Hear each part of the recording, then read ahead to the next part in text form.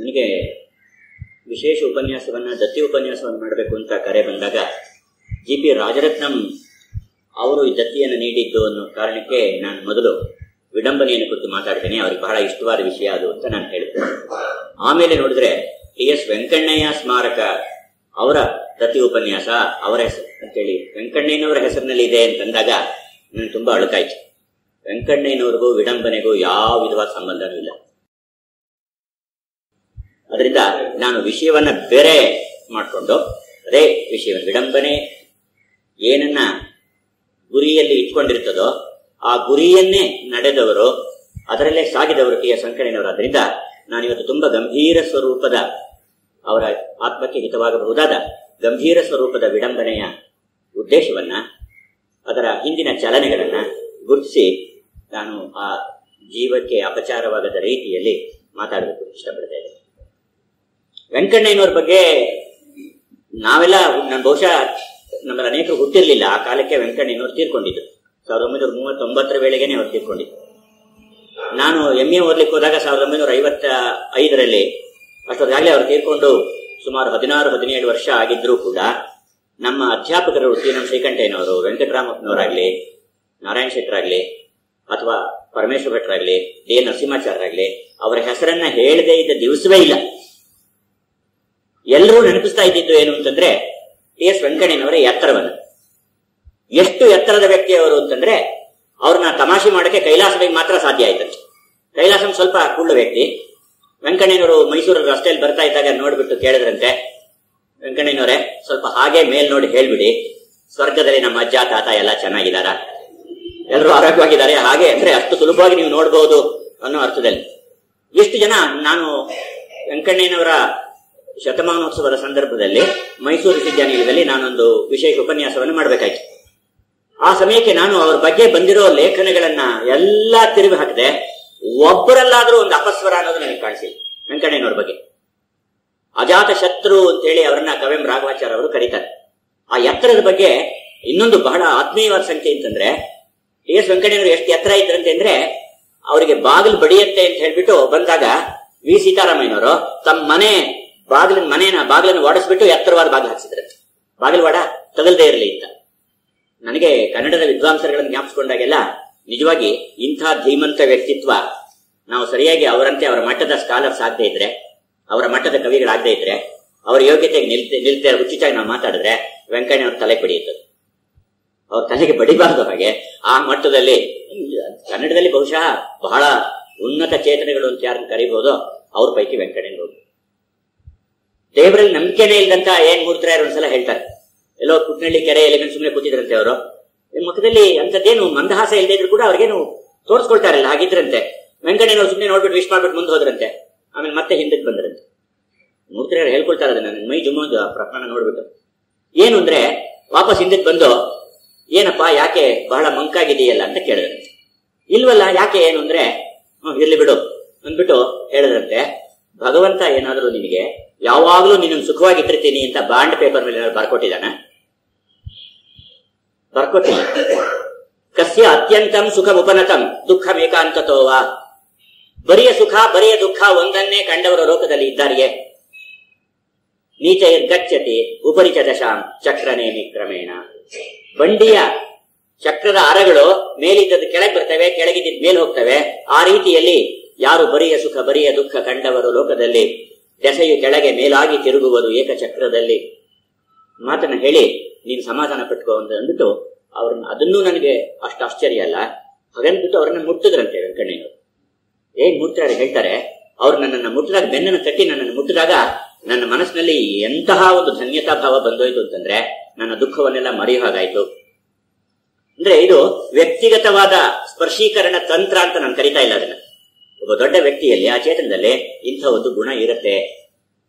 ರವಿಶಂಕರ್ ಯಾವಾಗಲೂ ಹೇಳ್ತಾ ಇರ್ತಾರೆ. ಪುಟ್ಟಪ್ಪನವರು ಕುವೆಂಪು ಅವರು ಮಾತಾಡುವಾಗ ಸುಮ್ಮನೆ ಮಾತಾಡ್ತಾ ಇದ್ದಾಗ ಅಕಸ್ಮಾತ್ ವೆಂಕಣ್ಣಯ್ಯ ಅನ್ನೋ ಹೆಸರು ಬಂದ್ಬಿಟ್ರೆ ಯಾವುದೋ ಕಾರಣಕ್ಕೆ ಬಂದ್ರೆ ಅವ್ರ ಕಣ್ಣಲ್ಲಿ ನೀರು ಇಳಿದು ಬಿಡುತ್ತೆ ಅಂತ ಹೇಳಿ. ಆ ರೀತಿಯಲ್ಲಿ ಇದ್ದಂತಹ ಚೇತನ ಅವರು, ಅವ್ರ ಬಗ್ಗೆ ಕವಿಂ ರಾಘವಾಚಾರ್ಯ ಒಂದು ಮಾತು ಹೇಳ್ತಾರೆ.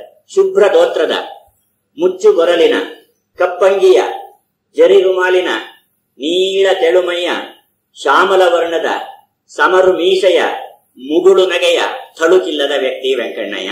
ಅವ್ರ ಹೆಸರು ತಳುಕಿನ ವೆಂಕಣ್ಣಯ್ಯ ಅಂತ. ಆ ತಳುಕಿಲ್ಲದ ವ್ಯಕ್ತಿ ಇವ್ರ ಬಗ್ಗೆ ಎಷ್ಟು ಉದಾಹರಣೆಗಳನ್ನ ಒಂದ್ಸಲ ತುಂಬಾ ಯಾರ ಮೇಲೆ ಕೋಪ ಮಾಡ್ಕೊಂಡಿರುತ್ತೆ. ಕೋಪ ಮಾಡ್ಕೊಂಡು ತಪ್ಪಾಯ್ತು ಅಂತ ಗೊತ್ತಾಯ್ತು. ಅರ್ಧ ಗಂಟೆ ಕೋಪ ಮಾಡ್ಕೊಂಡಿದ್ದಕ್ಕೆ ಎರಡು ಗಂಟೆ ಪ್ರಾಯಶ್ಚಿತ ಮಾಡ್ಕೊಳ್ಬೇಕು. ಏನ್ ಮಾಡೋದು ಅಂದ್ರೆ, ನಲ್ಲಿ ಕೆಳಗೆ ಹೋಗಿ ಕೂತ್ಬಿಟ್ರಂತೆ ಎರಡು ಗಂಟೆ. ಸುರಿಯುವ ನಲ್ಲಿ, ಅಂದ್ರೆ ಈ ಕಾಲದ ನಲ್ಲಿಗಳಲ್ಲ ನೀರು ಬರ್ತಾ ಇದ್ದ ಕಾಲದ್ದು ನಾವು ಕೂತ್ಕೋಬಹುದು ನಲ್ಲಿ ಕೆಳಗೆ ಹೋಗ್ಬಿಟ್ಟು. ಏನು ಆಗೋದಿಲ್ಲ. ಎರಡು ಗಂಟೆಯವರೆಗೆ ನಲ್ಲಿಯ ಕೆಳಗೆ ಕೂತು ಅಂದ್ರೆ ಈ ಆತ್ಮಶುದ್ಧಿ ಅಂತ ಮಾತಾಡ್ತೀವಲ್ಲ ಬೇರೆಯವ್ರಿಗೆ ಹೇಳೋಕ್ ಮುಂಚೆ ನಾವು ಯಾವ ರೀತಿಯಲ್ಲಿ ನಮ್ಮನ್ನ ನಿಯಂತ್ರಣಕ್ಕೆ ತಂದ್ಕೊಳ್ಬೇಕು ಅಂತ ಹೇಳಿ, ಅದು. ಮತ್ತೆ ಅವ್ರಿಗೆ ಎಂತ ಒಳ್ಳೆ ವಿನೋದ ಪ್ರಜ್ಞೆ ಇತ್ತು ಅಂದ್ರೆ ಇವತ್ತಿನ ಸಾಹಿತ್ಯನೆಲ್ಲ ಏನ್ ಅನ್ಸುತ್ತೆ ನಿಮ್ಗೆ? ನವೋದಯ ಕವಿಗಳು ಕೆಲವರು ಬೇಂದ್ರೆ, ಕುವೆಂಪು, ಪುತ್ತಿನ ಇವ್ರದೆಲ್ಲ ಬಿಟ್ಟು ಉಳಿದವ್ರು ಬರಿತಾ ಇದಾರಲ್ಲ ಏನ್ ಅನ್ಸುತ್ತೆ ಅಂದ್ರೆ ಇವೆಲ್ಲ ಹುರಿಟ್ಟಿನ ಬರವಣಿಗೆ ಅಂತ ಹೇಳ್ತಾರೆ. ಹುರಿಟ್ಟು ಅಂತ ಹಿಂದೆ ಈಗ ಈಗ ಹುಡುಗರಿಗೆ ಅದು ಗೊತ್ತಿಲ್ಲ ಅಂತ ಇಟ್ಕೊಳ್ಳಿ. ಹುರಿಟ್ಟಿನ ಬರವಣಿಗೆ ಅಂದ್ರೆ ಬಹಳ ಏನು ತಿಂಡಿ ಮಾಡಕ್ ಆಗದೆ ಇದ್ದಾಗ ಲೈಟ್ ಆಗಿ ಒಂದಿಷ್ಟು ಮಾಡ್ಕೊಂಡು ಮನೇಲಿ ಇರುತ್ತಲ್ಲ ರೆಡಿ ಆಗಿರುತ್ತಲ್ಲ. ಆ ರೀತಿ ಇದು ಪ್ರಯೋಜನ ಇಲ್ಲ ಅಂತ ಹೇಳಿ. ಅದರಿಂದ ಡಿ ವಿ ಅವರನ್ನ ಅವರು ಪ್ರೇರಕ ಶಕ್ತಿ ಕನ್ನಡ ಸಾಹಿತ್ಯಕ್ಕೆ ಅಂತ ಕರೀತಾರೆ. ಅವರ ಮನೆ ಪಾದರಕ್ಷೆಗಳ ಪರಿಷತ್ತು ಅಂತ ಏನ್ ಮೂರ್ತರಾಯರು ಕರೆದಿದ್ದಾರೆ. ಅವ್ರ ಮನೆ ಮುಂದೆ ಪಾದರಕ್ಷೆಗಳ ಪರಿಷತ್ ಅಂದ್ರೆ ಅಷ್ಟು ಜನ ಸೇರ್ತಾ ಇದ್ರಂತೆ ಅಲ್ಲಿ. ಎಲ್ಲರನ್ನ ಸೇರಿಸ್ಕೊಂಡು ಅವರಿಗೆ ಊಟವನ್ನ ಹಾಕಿ, ತಿಂಡಿಯನ್ನ ಕೊಟ್ಟು, ಬರೀ ಸಾಹಿತ್ಯದ ಕಡೆಗೆ ಅವರನ್ನ ತಿರುಗಿಸುವಂತ ಒಂದು ಗುಣ ಇತ್ತು ಅಂಥ ದೊಡ್ಡ ವ್ಯಕ್ತಿಯ ನೆನಪಿನಲ್ಲಿ ಈ ಸ್ಮಾರಕ ಉಪನ್ಯಾಸ ನಡೀತಾ ಇದೆ. ನಾವು ಗಂಭೀರವಾದ ವ್ಯಕ್ತಿತ್ವ ಸಟೈರ್ ಅನ್ನೋದು ಕೂಡ ನೋಡೋದಕ್ಕೆ ಉಗ್ರವಾಗಿ ಕಾಣಿಸಿದ್ರು ಕೂಡ ಅಂತರಂಗದಲ್ಲಿ ಆ ಎತ್ತರವನ್ನ ಉಳಿಸ್ಕೊಳ್ಳುತ್ತೆ ಅನ್ನೋದಕ್ಕೋಸ್ಕರ ನಾನು ಈ ಮಾತನ್ನು ಹೇಳಬೇಕಾಯ್ತು. ವಿಜಯ ಸ್ವಾಮಿ ಅವರು ಮೈಸೂರು ಡೈರಿ ಅಂತ ಪುಸ್ತಕ ಬರೆದಿದ್ದಾರೆ. ವಿಡಂಬನೆ ಅಂದ್ರೆ ನಿಜವಾಗಿ ಯಾವ ರೀತಿ ಇರಬೇಕು ಅನ್ನೋದನ್ನ ಆ ಪುಸ್ತಕ ಓದಿದ್ರೆ ನಿಮಗೆ ಗೊತ್ತಾಗುತ್ತೆ. ಅದು ಒಂದೇ ಒಂದು ಉದಾಹರಣೆ ಕೊಡ್ತೇನೆ. ಮೈಸೂರಿನಲ್ಲಿ ಹಿಂದೆ ಜಂಬೂ ಸವಾರಿ ನಡೀತಾ ಈಗ ನಡೀತಾ ಇಲ್ಲ, ಬಹಳ ಅನ್ಯಾಯ ಇದು ಅಂತ ಹೇಳ್ತಾರೆ. ಇನ್ನು ಏನೇನೋ ಬರುತ್ತೆ, ಅಲ್ಲಿ ಏನೇನೋ ಮೊದಲು ವಾದ್ಯದವ್ರು ಬರ್ತಾರೆ, ಆಮೇಲೆ ಆನೆಗಳು ಬರ್ತವೆ, ಆಮೇಲೆ ಚಾಮುಂಡೇಶ್ವರಿಯ ರಥ, ಅದು ಬರುತ್ತೆ, ಆಮೇಲೆ ಪದಾತಿಗಳು ಎಲ್ಲ ಬರ್ತಾರೆ. ಇವರು ಮೈಸೂರು ಯೂನಿವರ್ಸಿಟಿಲಿ ಎರಡು ವರ್ಷ ಇದ್ದವರು ಇವರು. ಎಮಿರಿಟಸ್ ಪ್ರೊಫೆಸರ್ ಆಗಿ ಇದ್ದವರು. ಅಲ್ಲಿ ಪ್ರೊಫೆಸರ್ಗಳನ್ನೆಲ್ಲ ಕಂಡವರು. ಕೊನೆಯಲ್ಲಿ ಒಂದು ಮಾತು ಹೇಳ್ತಾರೆ, ಇಷ್ಟೆಲ್ಲ ಬಂತಲ್ಲ, ಆ ಹಿಂದ್ಗಡೆ ಒಂದು ದೊಡ್ಡ ಟ್ರಕ್ ನಲ್ಲೋ ಲಾರಿಯಲ್ಲೋ, ನಮ್ಮ ಯೂನಿವರ್ಸಿಟಿಯ ಪ್ರೊಫೆಸರ್ಗಳನ್ನೆಲ್ಲ ನಿಲ್ಲಿಸ್ಬಿಟ್ಟಿದ್ರೆ, ಚೆನ್ನಾಗಿದೆ. ಯಾಕಂದ್ರೆ ಅವ್ರು ಹೇಗೂ ಮಾತಾಡೋದಿಲ್ಲ. ಬಾಯಿ ಬಿಡೋ ಪ್ರಾಣಿಗಳೆಲ್ಲ ಅದರಿಂದ ಕಷ್ಟವೇ ಆಗ್ತಾ ಇರಲಿಲ್ಲ ಅವರಿಗೆ. ಎರಡನೇದು ಇನ್ನೊಂದು ದೊಡ್ಡದು ಅಂತಂದ್ರೆ, ಅವರ ಸ್ಟೂಡೆಂಟ್ಸ್ ಅಂತ ಇರ್ತಾರಲ್ಲ ಯೂನಿವರ್ಸಿಟಿಗಳಲ್ಲಿ ಅವ್ರು ಇಲ್ಲಾದ್ರೂ ಅವ್ರನ್ನ ನೋಡಬಹುದಾಗಿತ್ತು ಯೂನಿವರ್ಸಿಟಿಯಲ್ಲಿ ಎರಡು ವರ್ಷ ಇದ್ದವರು ಪ್ರಾಧ್ಯಾಪಕರುಗಳನ್ನ ಇಲ್ಲಾದ್ರೂ ನೋಡೋ ಪುಣ್ಯ ವಿದ್ಯಾರ್ಥಿಗಳಿಗೆ ತಲುಪ್ತಾ ಇತ್ತು, ಲಭಿಸ್ತಾ ಇತ್ತು. ಆದ್ರಿಂದ ಅವರನ್ನು ಆ ಇದರಲ್ಲಿ, ಆ ಪ್ರದರ್ಶನಾಲಯದಲ್ಲಿ ಇಡಬೇಕಾಗಿತ್ತು. ಇಲ್ಲಿ ಇದು ತುಂಬಾ ವಿಡಂಬನೆ ಆದರೂ ಕೂಡ ನಿಜವಾಗಿ ವ್ಯಕ್ತಿತ್ವ ಪ್ರೊಫೆಸರ್ ಅಂದ್ರೆ ಕಾಲೇಜಿನ ಒಂದು ಮಟ್ಟ ಯಾವ ರೀತಿ ಇರಬೇಕು? ಅಧ್ಯಾಪಕನ ಉನ್ನತ ಶೀಲ ಯಾವ್ದಿರ್ಬೇಕು ಪಂಪ ವ್ಯಂಗ್ಯ ಮಾಡ್ತಾನೆ? ಏವುದು ಗುಣವಿಲ್ಲದವನ ಗಂಡುಂ ತೊಂಡುಂ. ಶೌಚ ಇಲ್ಲದೆ ಇದ್ಮೇಲೆ ಅವನು ಗಂಡು ಮತ್ತೆ ತೊಂಡು. ತೊಂಡು ಅಂದ್ರೆ ಭಕ್ತಿ ಅಂತ. ಈಗ ತೊಂಡದನ ಅಂದ್ರೆ ಬೇರೆ ಅರ್ಥ ಬಂದ್ಬಿಟ್ಟಿದೆ. ಈ ಶೌಚ ಇಲ್ಲದವನ ಗಂಡು ತೊಂಡು ಏನು ಪ್ರಯೋಜನ ಅಂತ ಕೇಳ್ತಾನೆ ಆ ಮಟ್ಟದ ಒಂದು ಗುಣ ನಮ್ಮಲ್ಲಿ ಕಡಿಮೆ ಆಗ್ತಾ ಇದೆ. ಎಲ್ಲಾ ಕಾಲದಲ್ಲೂ ಇದು. ವ್ಯಂಗ್ಯವಾಗಿ ಹೇಳ್ಕೊಂಡೇ ಬಂದಿದ್ದಾರೆ. ಹಿಂದಕ್ಕೆ ಮೆದೆ ಇಲ್ಲ, ಮುಂದಕ್ಕೆ ಹುಲ್ಲಿಲ್ಲ ಅಂತ ಬಹಳ ಸೊಗಸಾದ ಮಾತನ್ನ ಅಲ್ಲಮ್ಮ ಒಂದ್ ಕಡೆ ಹೇಳ್ತಾರೆ ನಮ್ಗೆ ಪರಂಪರೆ ಇಲ್ಲ. ಮೆದೆ ಅಂದ್ರೆ ಪರಂಪರೆ. ಯಾರಿಂದ ನಮ್ಮ ಅಪ್ಪ, ಅಮ್ಮ, ನಮ್ಮ ಸಂಸ್ಕೃತಿ, ನಮ್ಮ ಸಾಹಿತ್ಯ, ನಮ್ಮ ವಿಚಾರಗಳು, ನಮ್ಮ ಆಚಾರಗಳು, ಅದು ನಾವು ಮರೆತು ಬಿಟ್ಟಿದ್ದೀವಿ. ಹಿಂದಕ್ಕೆ ಮೆದೆ, ದನ ಸಾಕ್ಬೇಕಾದ್ರೆ ಹಿಂದಕ್ಕೆ ಮೆದೆ ಇರಬೇಕು, ಮುಂದಕ್ಕೆ ಹುಲ್ಲಿರ್ಬೇಕು ಹಸಿರು ಹುಲ್ಲು ಅವತ್ತವತ್ತಿಗೆ ಕತ್ತರಿಸಿ ಹಾಕ್ಬೇಕು. ನಮ್ಗೆ ಅವತ್ತಿನ ಆಹಾರವೂ ಇಲ್ಲ, ಹಿಂದಿನ ಆಹಾರವೂ ಇಲ್ಲ. ಇಂಥ ಮಾತುಗಳಲ್ಲಿ ಈ ವ್ಯಂಗ್ಯ ಯಾವುದನ್ನ ಸಾಧಿಸೋದಕ್ಕೆ ಹೋಗುತ್ತೆ? ಪರಂಪರೆಯ ಸತ್ವವನ್ನು ಉಳಿಸ್ಕೊಳ್ಬೇಕು ಅನ್ನೋದನ್ನ.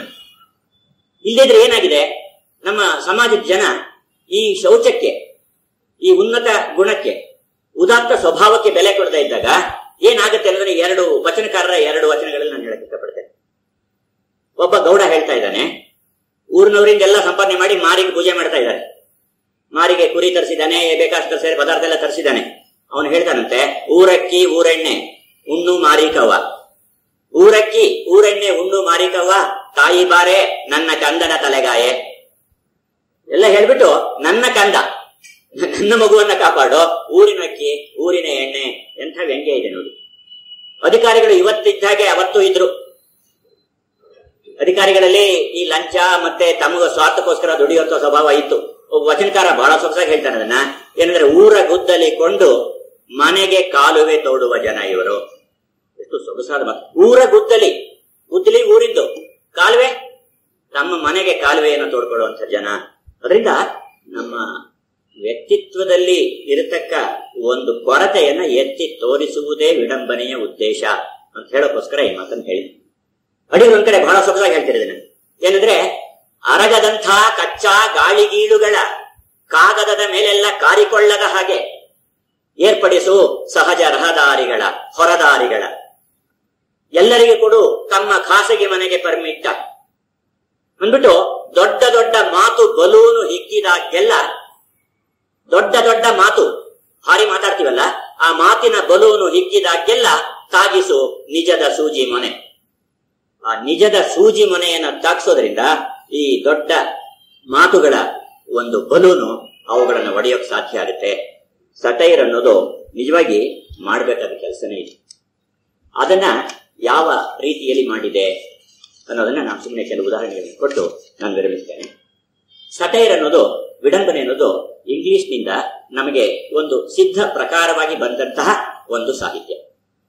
ಮೊದಲಲ್ಲಿ ನಮ್ಮಲ್ಲಿ ಇರಲಿಲ್ಲ ಅಂತಲ್ಲ. ನಾನು ಕುಮಾರವ್ಯಾಸ ಭಾರತವನ್ನು ಮಾಡುವಾಗ ಪಂಪನ ಉದಾಹರಣೆಯನ್ನು ಕೊಡುವಾಗ ಮಾತ್ರ ಹೇಳಿದೆ. ಪಂಪನಿಗೆ ಈ ವಿಡಂಬನೆಯ ಸ್ವರೂಪ ಬಹಳ ಚೆನ್ನಾಗಿ ಗೊತ್ತಿತ್ತು. ಅಶ್ವತ್ಥಾಮ, ಇವನಿಗೆ ಕರ್ಣನಿಗೆ ಪಟ್ಟ ಕಟ್ಟಿಬಿಟ್ರಲ್ಲ. ನೋಡಿ ಭೀಷ್ಮರಿಗೆ ಪಟ್ಟ ಕಟ್ಟಿದಾಗ ಕರ್ಣ ಕೋಪ ಮಾಡ್ಕೊಂಡಿದ್ದ. ಕರ್ಣನಿಗೆ ಪಟ್ಟ ಕಟ್ಟಿದಾಗ ಅಶ್ವತ್ಥಾಮ ಕೋಪ ಮಾಡ್ಕೊಂಡ್ಬಿಡ್ತಾನೆ. ಕೋಪ ಮಾಡ್ಕೊಂಡು, ನಾನು ಕೈದು ಅಂಬಿಸುಟ್ಟಿರ್ತೇನೆ ನಾನು ಕತ್ತಿನೇ ಹಿಡಿಯೋದಿಲ್ಲ. ಬಿಲ್ ವಿಡಿಯಂ. ಕರ್ಣ ಇರೋ ತನಕ ಅನ್ನೆಗಂ ಬಿಲ್ ವಿಡಿಯಂ, ಕತ್ತಿ ಹಿಡಿಯೋದಿಲ್ಲ ನಾನು, ಬಿಲ್ ಹಿಡಿಯೋದಿಲ್ಲ. ಅಂತಂದ್ರೆ ಕರ್ಣನಿಗೆ ಎಷ್ಟು ಸಿಟ್ಟು ಬರ್ಬೇಕು ಅವರ. ಅವನು ಹೇಳ್ತಾನೆ, ಅಯ್ಯ, ಬ್ರಾಹ್ಮಣೋತ್ತಮ. ಕ್ಷತ್ರಿಯ ಅಲ್ಲ ಬ್ರಾಹ್ಮಣ ತಾನೆ. ನೀನ್ ಯಾಕೆ ಬಿಸಾಕ್ತೀನಿ ಬಿಸಾಕ್ತೀನಿ ಅಂತ ಹೇಳ್ತೀಯ ಕತ್ತಿಯನ್ನ, ನಿನ್ನ ಕೈದು ಅನ್ ಇರ್ದುಂ ಬಿಸುಟಿರ್ತ ಲೆಕ್ಕಮೆ ಈ ಬ್ರಾಹ್ಮಣ ನಿಮ್ ಕೈಲಿ ಕತ್ತಿ ಇದ್ರು ಕೂಡ ಅದನ್ನ ಬಿಸಾಕಿದ್ ಲೆಕ್ಕನೆ. ಮಾತೆತ್ತಿದ್ರೆ ಕೆಮ್ಮನೆ ಕಣ್ಣೀರ್ಗರೆವ ಕಣ್, ಕಣ್ಣುಗಳಲ್ಲಿ ನೀರು ಸುರಿಸ್ತೀರಿ. ಶಸ್ತ್ರವನ್ನ ಬಿಸಿಡ್ತೀರಿ. ಅವರಪ್ಪ ಶಸ್ತ್ರ ಬಿಸಿಟ್ಟಿದ್ನಲ್ಲ ತುಂಬಾ ಸಿಟ್ಟು ಬಂದಾಗ ನಾವೇ ಕತ್ತಿ ಹಿಡ್ಕೊಂಡು ಮುಂದೆ ನುಗ್ಬಿಡ್ಬೇಕಾಗಿತ್ತು ನಿಮ್ಮಪ್ಪ ಏನ್ ಮಾಡ್ದ? ಶಸ್ತ್ರ ಸನ್ಯಾಸ ಮಾಡ್ದ. ಹೀಗೆ ಶಸ್ತ್ರ ಬಿಸಿಡುವ, ಕಣ್ಣೀರ್ ಕರೆವ ವಿಜಯಂ ನಿಮ್ ಅಯ್ಯ ನಿಮ್ ಕಲ್ತೀರೇ. ನಿಮ್ಮಪ್ಪ ಹೇಳ್ಕೊಟ್ನೆ ವಿದ್ಯಾನ ನಿನಗೆ ಮಾತೆತ್ತಿದ್ರೆ ಕಣ್ಣೀರ್ ಸುರಿಸೋದು. ಶಸ್ತ್ರ ಬಿಸಾಕ್ತೀನಿ ಶಸ್ತ್ರ ಬಿಸಾಕ್ತೀನಿ ಅಂತ ಹೇಳೋದು ಅಂದ್ಬಿಟ್ಟು ಇಟ್ಕೊಳಯ್ಯ, ನೀನೇನ್ ದೊಡ್ಡ ಮನುಷ್ಯ ಅಂತ ತಿಳ್ಕೊಂಡಿದ್ದಿ? ನೀನು ಒಳ್ಳೆ ಒಳ್ಳೆ ಅಂದ್ರೆ ನೀರ್ ಹಾವು ಅಂತ. ವಿಷಂ ಒಳ್ಳೆಗುಳ್ಳೊಡಂ ಅದು ಒಳ್ಳೆಯೇ, ಕಾಳಿಯ ನಾಗನಾಗದು. ವಿಷ ಒಳ್ಳೆಗಿದ್ರು ಕೂಡ ಅಂದ್ರೆ ನೀರ್ ಹಾವಿಗೆ ಸ್ವಲ್ಪ ವಿಷ ಇರಬಹುದು, ಆದ್ರೆ ಅದು ಒಳ್ಳೆನೆ ಅದನ್ನ ಕಾಳಿಯ ನಾಗ ಅಂತ ಕರೆಯೋದಿಲ್ಲ. ಆದ್ರಿಂದ ನೀನು ಅಶ್ವತ್ಥಾಮ, ಮಹಾವೀರ ಅಂತ ತಿಳ್ಕೊಳ್ಬೇಡ. ನಿನ್ನನ್ನ ನಿಡಿಯರ್ ಒಳ ನಿನ್ನನ್ನ ಮೀರ್ ಇಲ್ಲಿ ಪಂಪನಿಗೆ ವಿಡಂಬನೆಯ ಸ್ವರೂಪ ಗೊತ್ತಿರಲಿಲ್ಲ ಅಂತಲ್ಲ. ಆದ್ರೆ ನಮ್ಮಲ್ಲಿ ಅದು ವಿಶೇಷವಾದ ಕಾವ್ಯ ಪ್ರಕಾರವಾಗಿ ಬಂದದ್ದು ಬ್ರಹ್ಮಶಿವನ ಕಾಲಕ್ಕೆ ಸರ್ವಜ್ಞ ವಚನಕಾರರು ಇವರೆಲ್ಲ ಅದನ್ನ ಕೇವಲ ತಮ್ಮ ತಮ್ಮ ಬರವಣಿಗೆಯ ಒಂದು ಅಂಚಿನಲ್ಲಿ ಮಾರ್ಜಿನ್ ಅಂತ ಕರಿತೀವಲ್ಲ, ಅದರಲ್ಲಿ ಬರೀತಾರೆ. ಆದ್ರೆ ಅಪ್ಸಲಾಮ್ ಅಂಡ್ ಅಕಿಟೋಫೆಲ್ ಓದಿದಾಗ, ಅಥವಾ ರೇಪ್ ಆಫ್ ದಿ ಲಾಕ್ ಅದನ್ನು ಓದಿದಾಗ ಇಂಗ್ಲಿಷ್ ಸಟೈರ್ಗಳನ್ನು ಓದಿದಾಗ, ನಿಜವಾಗಿ ಇದಕ್ಕೆ ಒಂದು ಸಿದ್ಧ ಪ್ರಕಾರವಾಗಿ ರೂಢಗೊಂಡಿದ್ದು ಅಲ್ಲಿಂದ. ಇತ್ತೀಚೆಗೆ ಬಹಳ ದೊಡ್ಡ ಪ್ರಮಾಣದಲ್ಲಿ ಅದು ಬೆಳೆದಿದೆ ಮೊನ್ನೆ ನಾನು ಟೈಮ್ಸ್ ಆಫ್ ಇಂಡಿಯಾದಲ್ಲಿ ಒಂದು ಅಡ್ವರ್ಟೈಸ್ಮೆಂಟ್ ನೋಡಿದೆ ತಾಜ್ ಹೋಟೆಲ್ ಇದೆಯಲ್ಲ, ಅವರು ಒನ್ ಪಾಯಿಂಟ್ ಮ್ಯಾರೇಜ್ ಅಂತ. ಅಂದ್ರೆ ಎಲ್ಲ ಅಲ್ಲೇ, ನಿಮಗೆ ಬೇಕಾದ ವಧುವಿಗೆ ಬೇಕಾದ ಬಟ್ಟೆ ಬರೆ, ಗಂಡಿಗೆ ಬೇಕಾದ ವಸ್ತ್ರಗಳು, ಆ ಊಟ, ಬಂದವರಿಗೆಲ್ಲ ಉಡುಗೊರೆ. ಉಡುಗೊರೆಯನ್ನು ಕೂಡ ಹೋಟೆಲ್ನವರೇ ಕೊಟ್ಬಿಡ್ತಾರೆ. ಒಂದು ಸೈನಿಗೆ ಚೆಕ್ಕಿಗೆ ಸೈನ್ ಮಾಡ್ಕೊಡ್ಬೇಕಷ್ಟೇ. ಒಂದು ಹದಿನೈದು, ಹದಿನಾರು ಲಕ್ಷಕ್ಕೆ ಮಾಡ್ಕೊಟ್ಬಿಟ್ರೆ, ಪಾಪ ಹೋಟೆಲ್ ಒನ್ ಪಾಯಿಂಟ್ ಅಂತ ಹಾಕ್ಬಿಟ್ಟಿದ್ದಾನಲ್ಲಿ ಎಲ್ಲ. ಕೊನೆಗೆ ಅವರಿಗೆ ಹನಿಮೂನ್ ಕೂಡ ಐದು ದಿವಸ ಹೋಟೆಲ್ನಲ್ಲೂ ಇರಿಸ್ಕೊತಾರೆ ಅವ್ರನ್ನ. ಗಂಡು ಹೆಣ್ಣನ್ನ ಆಮೇಲೆ ಅವ್ರ ವಿಮಾನದಲ್ಲಿ ಎಲ್ಲಾ ಊರಿಗೂ ಸುತ್ತಾಕ್ಬಿಟ್ಟು ಅಲ್ಲಿ ತನಕ ಒನ್ ಪಾಯಿಂಟ್ ಅಂತ ಎಲ್ಲ ಹಾಕ್ಬಿಟ್ಟಿದ್ದಾರೆ ಅದರಲ್ಲಿ. ಲಿಸ್ಟ್ ಕೊಟ್ಬಿಟ್ಟಿದ್ದಾರೆ, ಏನೇನ್ ತರಬೇಕು ಎಲ್ಲ ಆದ್ನೂ ಅದ್ರ ಮೇಲೆ ಟೈಮ್ಸ್ ಆಫ್ ಇಂಡಿಯಾದಲ್ಲಿ ಒಬ್ಬ ಬಹಳ ಚೆನ್ನಾಗಿ ಒಂದು ಕಾರ್ಟೂನ್ ಬರೆದಿದ್ದ. ಒನ್ ಪಾಯಿಂಟ್ ಅಂತ ಎಲ್ಲ ಇದೆಯಲ್ಲ ಲಿಸ್ಟ್ ಕೊಟ್ಟಿದ್ದೀರಲ್ಲ, ಅದ್ರಲ್ಲಿ ಒಂದೇ ಒಂದು ಸೇರಿಸಿಲ್ಲ. ಏನಂದ್ರೆ, ಸೀಮೆ ಎಣ್ಣೆ ಡಬ್ಬ. ಹುಡುಗಿಯನ್ನ ನೀವು ಕರ್ಕೊಂಡು ಹೋಗ್ತಿರಲ್ಲ, ಮುಂದೆ ಏನ್ ಮಾಡ್ತೀರಿ? ಅದನ್ನು ಸೇರಿಸ್ಬೇಕು. ಎಲ್ಲ ಇದೆ. ಎಲ್ಲ ಇದೆ. ಅದೊಂದಿಲ್ಲ. ನೋಡಿ ಇದು ವ್ಯಂಗ್ಯ ಅಂತಂದ್ರೆ, ವಿಡಂಬನೆ ಅಂತಂದ್ರೆ, ನಿಜವಾಗಿ ಉದಾತ್ತವಾದದ್ದನ್ನೇ ಬಯಸುತ್ತೆ. ಆದ್ರೆ ಹಿಂದೆ ಇರೋದನ್ನ ಕುರಿತು ಅದು ತುಂಬಾ ತೀಕ್ಷ್ಣವಾದ ಮಾತುಗಳಲ್ಲಿ. ನಾನು ಕಳೆದ ಬಾರಿ ಹೇಳಿದೆ, ಯಾಕಿಷ್ಟು ಹೊರತಾಗಿ ಮಾತಾಡ್ತೀವಿ? ಗೋಪಾಲ್ ಗೌಡ ಅಂತ ಒಬ್ಬರಿದ್ರು ಅಸೆಂಬ್ಲಿನಲ್ಲಿ ವಿರೋಧ ಪಕ್ಷದ ನಾಯಕರಾಗಿದ್ರು. ಒಬ್ಬನೇ ವ್ಯಕ್ತಿ ಪಾಪ. ರಾಕ್ಷಸ ಮೆಜಾರಿಟಿ ಇದೆ ಕಾಂಗ್ರೆಸ್ನವ್ರಿಗೆ. ಏನ್ ಮಾಡ್ಬೇಕು ಅವ್ರಿಗೆ? ತೋರ್ತಾ ಇರಲಿಲ್ಲ ಅವ್ರಿಗೆ. ಅದಕ್ಕೆ ಮೈಕನ್ನ ಮುರಿದಾಕ್ಬಿಡೋರು. ರಾಜ್ಯಪಾಲರ ಪತ್ರವನ್ನು ತೆಗೆದು ಹರಿದಾಕ್ಬಿಡೋರು. ಚಪ್ಪಲಿಯನ್ನ ಮುಂದಕ್ಕೆ ಎಸ್ತು ಬಿಡೋರು ಹಾಗಾದ್ರೂ ಜನಕ್ಕೆ ಏನಿದೆ ಏನ್ ಮಾಡ್ತಾ ಇದ್ರಿಂದ ಹೌದು, ನನ್ನ ಮಾತು ಕೇಳಿ ಇವಾಗ ಅಂತ ನಮ್ಮ ಮಾತಿಗೆ ಬೆಲೆನೇ ಇಲ್ಲ. ಅಂದ್ರೆ ಸಿಟ್ಟನ್ನ ತೋರಿಸ್ಕೊಳ್ಳೋದಕ್ಕೆ ಒಂದು ಮಾತಿರ್ಬೇಕು. ಒಳ್ಳೆ ಮಾತ ಯಾವಾಗಲೂ ಆಡಕ್ಕಾಗಲ್ಲ. ನಯ ನುಡಿಯಬೇಕೆ ಈ ಮೃಗಗಣಕ್ಕೆ. ಬಂದಿರಲ್ಲ ಪ್ರಾಣಿಗಳು. ಮನುಷ್ಯರಾಗಿದ್ರೆ ಮಾತಾಡ್ಬೋದಾಗಿತ್ತಪ್ಪ. ನಯ ನುಡಿಯಬೇಕೆ ಈ ಮೃಗಗಣಕ್ಕೆ. ಬಳಸುವರೆ ರೇಷ್ಮೆ ನೂಲ, ಹೊಲಿಯಲಿಕ್ಕೆ ಗೋಣಿ ಚೀಲ ಗೋಣಿ ಚೀಲ ಹೊಲಿಯೋದಕ್ಕೆ ರೇಷ್ಮೆ ನೂಲನ್ನ ಯಾರು ಬಳಸೋದಿಲ್ಲ. ಆದ್ರಿಂದ ನಾನು ಆಡೋ ಮಾತೆ ಹೀಗೆ. ಎಲ್ಲ ಸಂದರ್ಭಗಳಲ್ಲಿ ಸಿಟ್ಟನ್ನ ಒಂದು ರೀತಿ ವ್ಯಂಗ್ಯವಾಗಿ ತೋಡ್ಕೊಳ್ಳೋಕೆ ಸಾಧ್ಯ ಆಗುತ್ತೆ. ಜನ ಬರ್ಬೇಕಪ್ಪ ಸಭೆಗೆ. ರಾಜಕೀಯ ಹೋದಾಗ ಒಂದ್ ದಿವಸ ಜನ ಇರ್ಲಿಲ್ವಂತೆ. ಸಿಟ್ಟು ಬರುತ್ತೆ, ನನಗೆ ಬರಲ್ಲ ಅಂತಲ್ಲ. ಅವರು ಅದನ್ನ ವ್ಯಂಗ್ಯವಾಗಿ ಹೇಗೆ ತೋಡ್ಕೊಳ್ತಾರೆ ಅಂದ್ರೆ, ಗುರುವೋ ಮಹಾವಾಗ್ಮಿ. ಮಾತಾಡಿದರೆ ಕಂಠ ಕಂಚು. ರಾಜಕೀಯ ಭಾಷೆ ಕೇಳಿದಿರಲ್ಲ ನೀವು? ಗುರುವೋ ಮಹಾವಾಗ್ಮಿ, ಮಾತಾಡಿದರೆ ಕಂಠ ಕಂಚು. ಶಿಷ್ಯರೋ ಏಳೇ ಜನ. ಸಭೆಗೆ ಬಂದಿದ್ದವರು ಏಳೇ ಜನ. ಗೋಡೆ ನಾಲ್ಕರ ಜೊತೆಗೆ ಮೂರು ಬೆಂಚು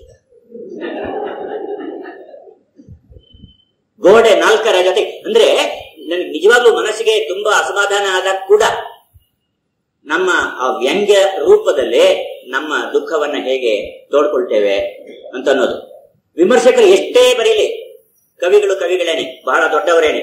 ಆದ್ರೆ ಎರಡು ಸಾವಿರ ವರ್ಷದ ಹಿಂದೆ ಸೈಬೀಲಿಯಸ್ ಅಂತ ಒಬ್ಬ ಹೇಳಿದ್ದಾನೆ. ಅಯ್ಯ ವಿಮರ್ಶಕ, ಜ್ಞಾಪಕ ಇಟ್ಕೋ.